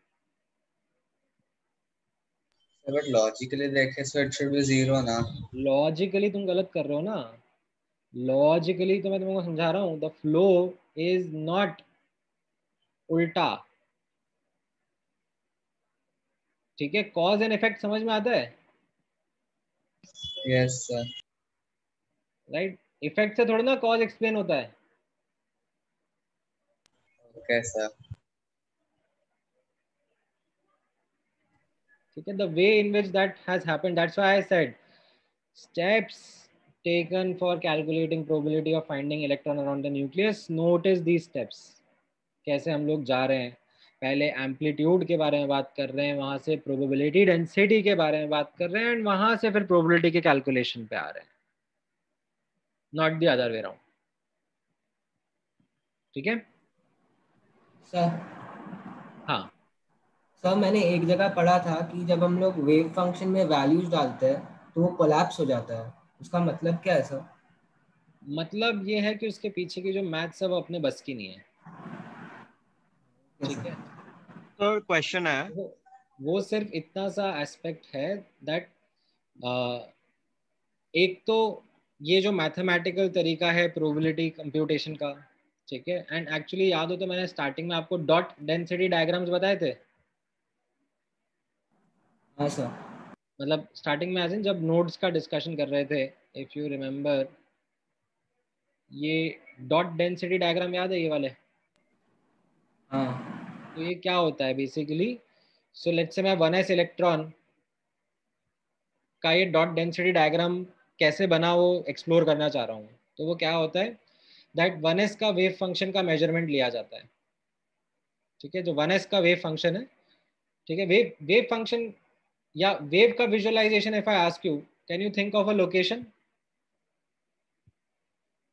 the one s का wave will be spread throughout ठीक है it will be around the nucleus spread throughout the around the nucleus so it does not make any sense about talking about the location of the wave right but when we make an observation okay then what happens is that that wave like it collapses onto a particular some location some point now you keep on repeating this exercise you again do the measurement and it will again fall onto some other point you again do that and you do it statistically significantly large number of times so what you get is called as a dot density diagram जहां जहां पर dots की density ज्यादा होगी ठीक है? That means those are going to be the location where the electron is likely to be found जहाँ पर डॉट्स की डेंसिटी स्पार्स हो जाएगी।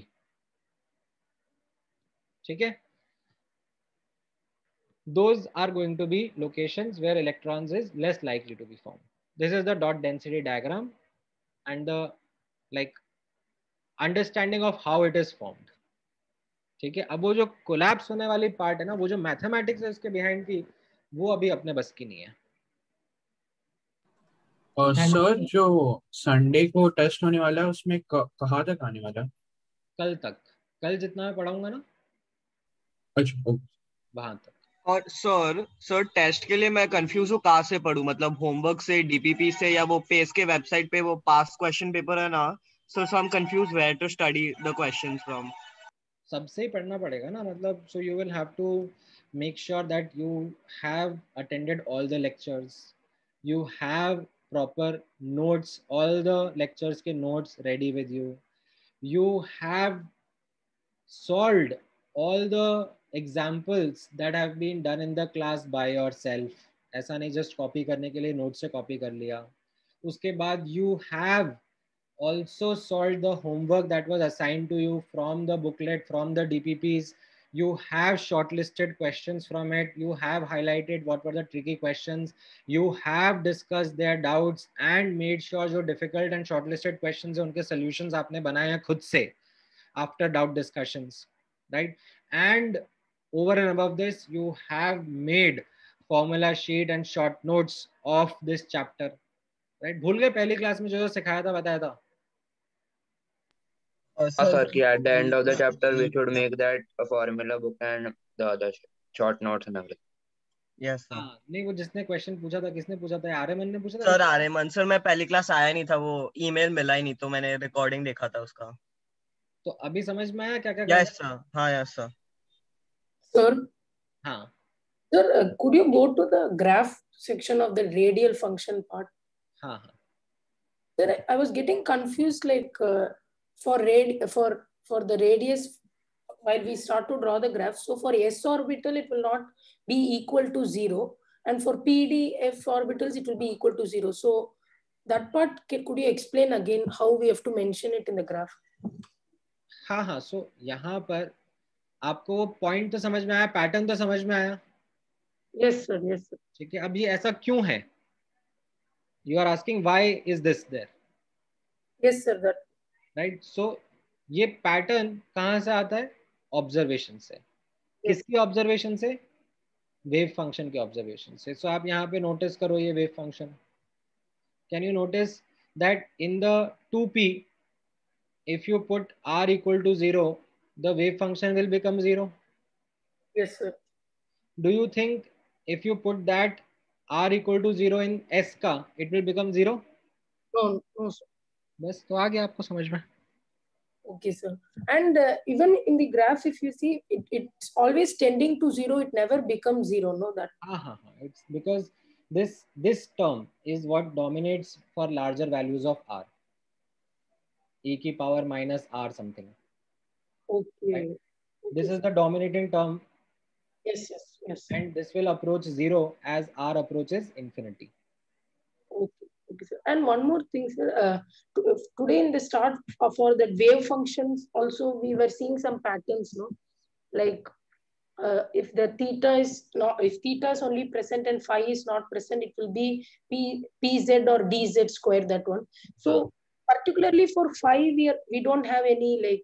No, no, no. It isn't that straightforward. Hota to main likhwa deta. Okay, okay, sir. So, uh, can you please explain the end of this question? The last step of this question? कौन सा वाला So ये वाला ही ये वाला screen पे हाँ इसका end I didn't understand. नहीं नहीं सो क्वेश्चन समझ में आया था आपको Yes sir. क्या था क्वेश्चन बताओ जरा So we are to uh, find out which orbital it will be, which particular x, y or z.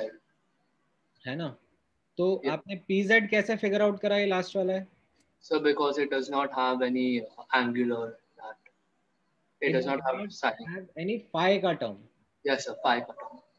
ठीक है अब px py के बीच में you need to think which one will be px which one will be py Yes sir. now the way in which i asked you to think was if you notice the difference between these two wave functions it is in the phi term Yes sir. ठीक है so i would want to focus on phi for these orbitals so let me start with say py orbital ठीक है या फिर यहाँ पे क्या कर रखा है हाँ py orbital and I will take the help of its angular node ठीक है कैसे so you remember this is the shape of the py orbital Yes sir.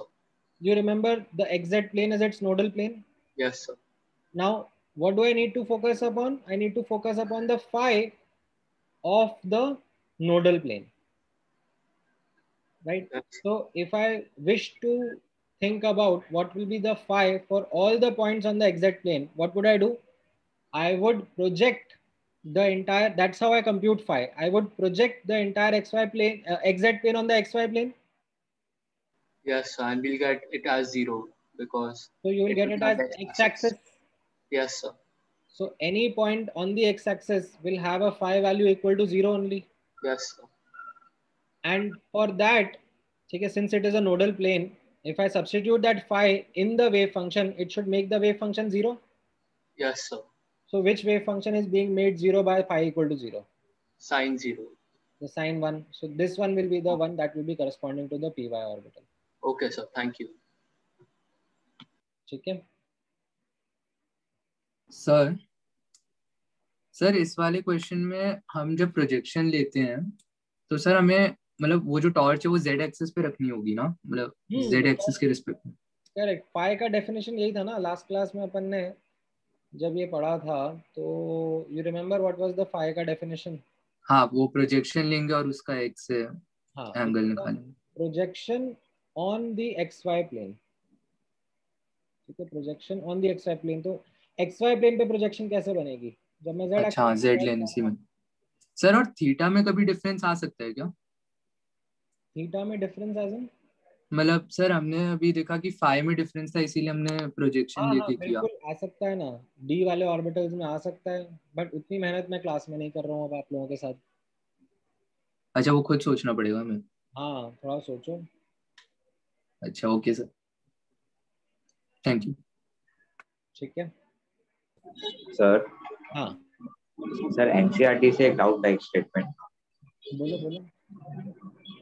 Sir read करूँ हाँ बोलो ना the, The energies of the orbitals in the same subshell decrease with increase in the atomic number. So ये नहीं समझा statement. The energy The energies of the orbital in the same subshell decrease with increase in atomic number. अरे ये तो मतलब shielding effect से related हो गया। Um, मतलब ऐसा हो जाएगा जैसे लाइक like हाइड्रोजन का one s electron and let's say sodium का वन एस इलेक्ट्रॉन ठीक है? इन दोनों का एनर्जी लेवल कंपेयर करने के लिए बोला जा रहा है। ठीक है? तो द थिंग इसका एनर्जी ज़्यादा होगा। एज कंपेयर टू इसका। क्यों? क्योंकि ये जो वन एस इलेक्ट्रॉन है is attracted by one proton and is sodium वाला is going to be attracted by z equal to 11 minus something protons ये minus something जो होता है ना उसको स्क्रीनिंग इफ़ेक्ट या शील्डिंग इफ़ेक्ट होते हैं and that has to be less than 11 only और sorry in fact has to be less than 10 only तो जो इफ़ेक्टिव न्यूक्लियर चार्ज होगा ठीक है वो वन से ज़्यादा रहता है। अब आपको ये स्क्रीनिंग इफ़ेक्ट शील्डिंग इफ़ेक्ट थोड़ा टाइम बाद में बताऊँगा। अभी नहीं करवा रहा वो पीरियोडिक प्रॉपर्टीज़ चैप्टर में आएगा। ठीक है सर थैंक यू ठीक है? All right any other question चलो, फिर क्लोज करते हैं. Thank you guys take care bye bye कल मिलता है.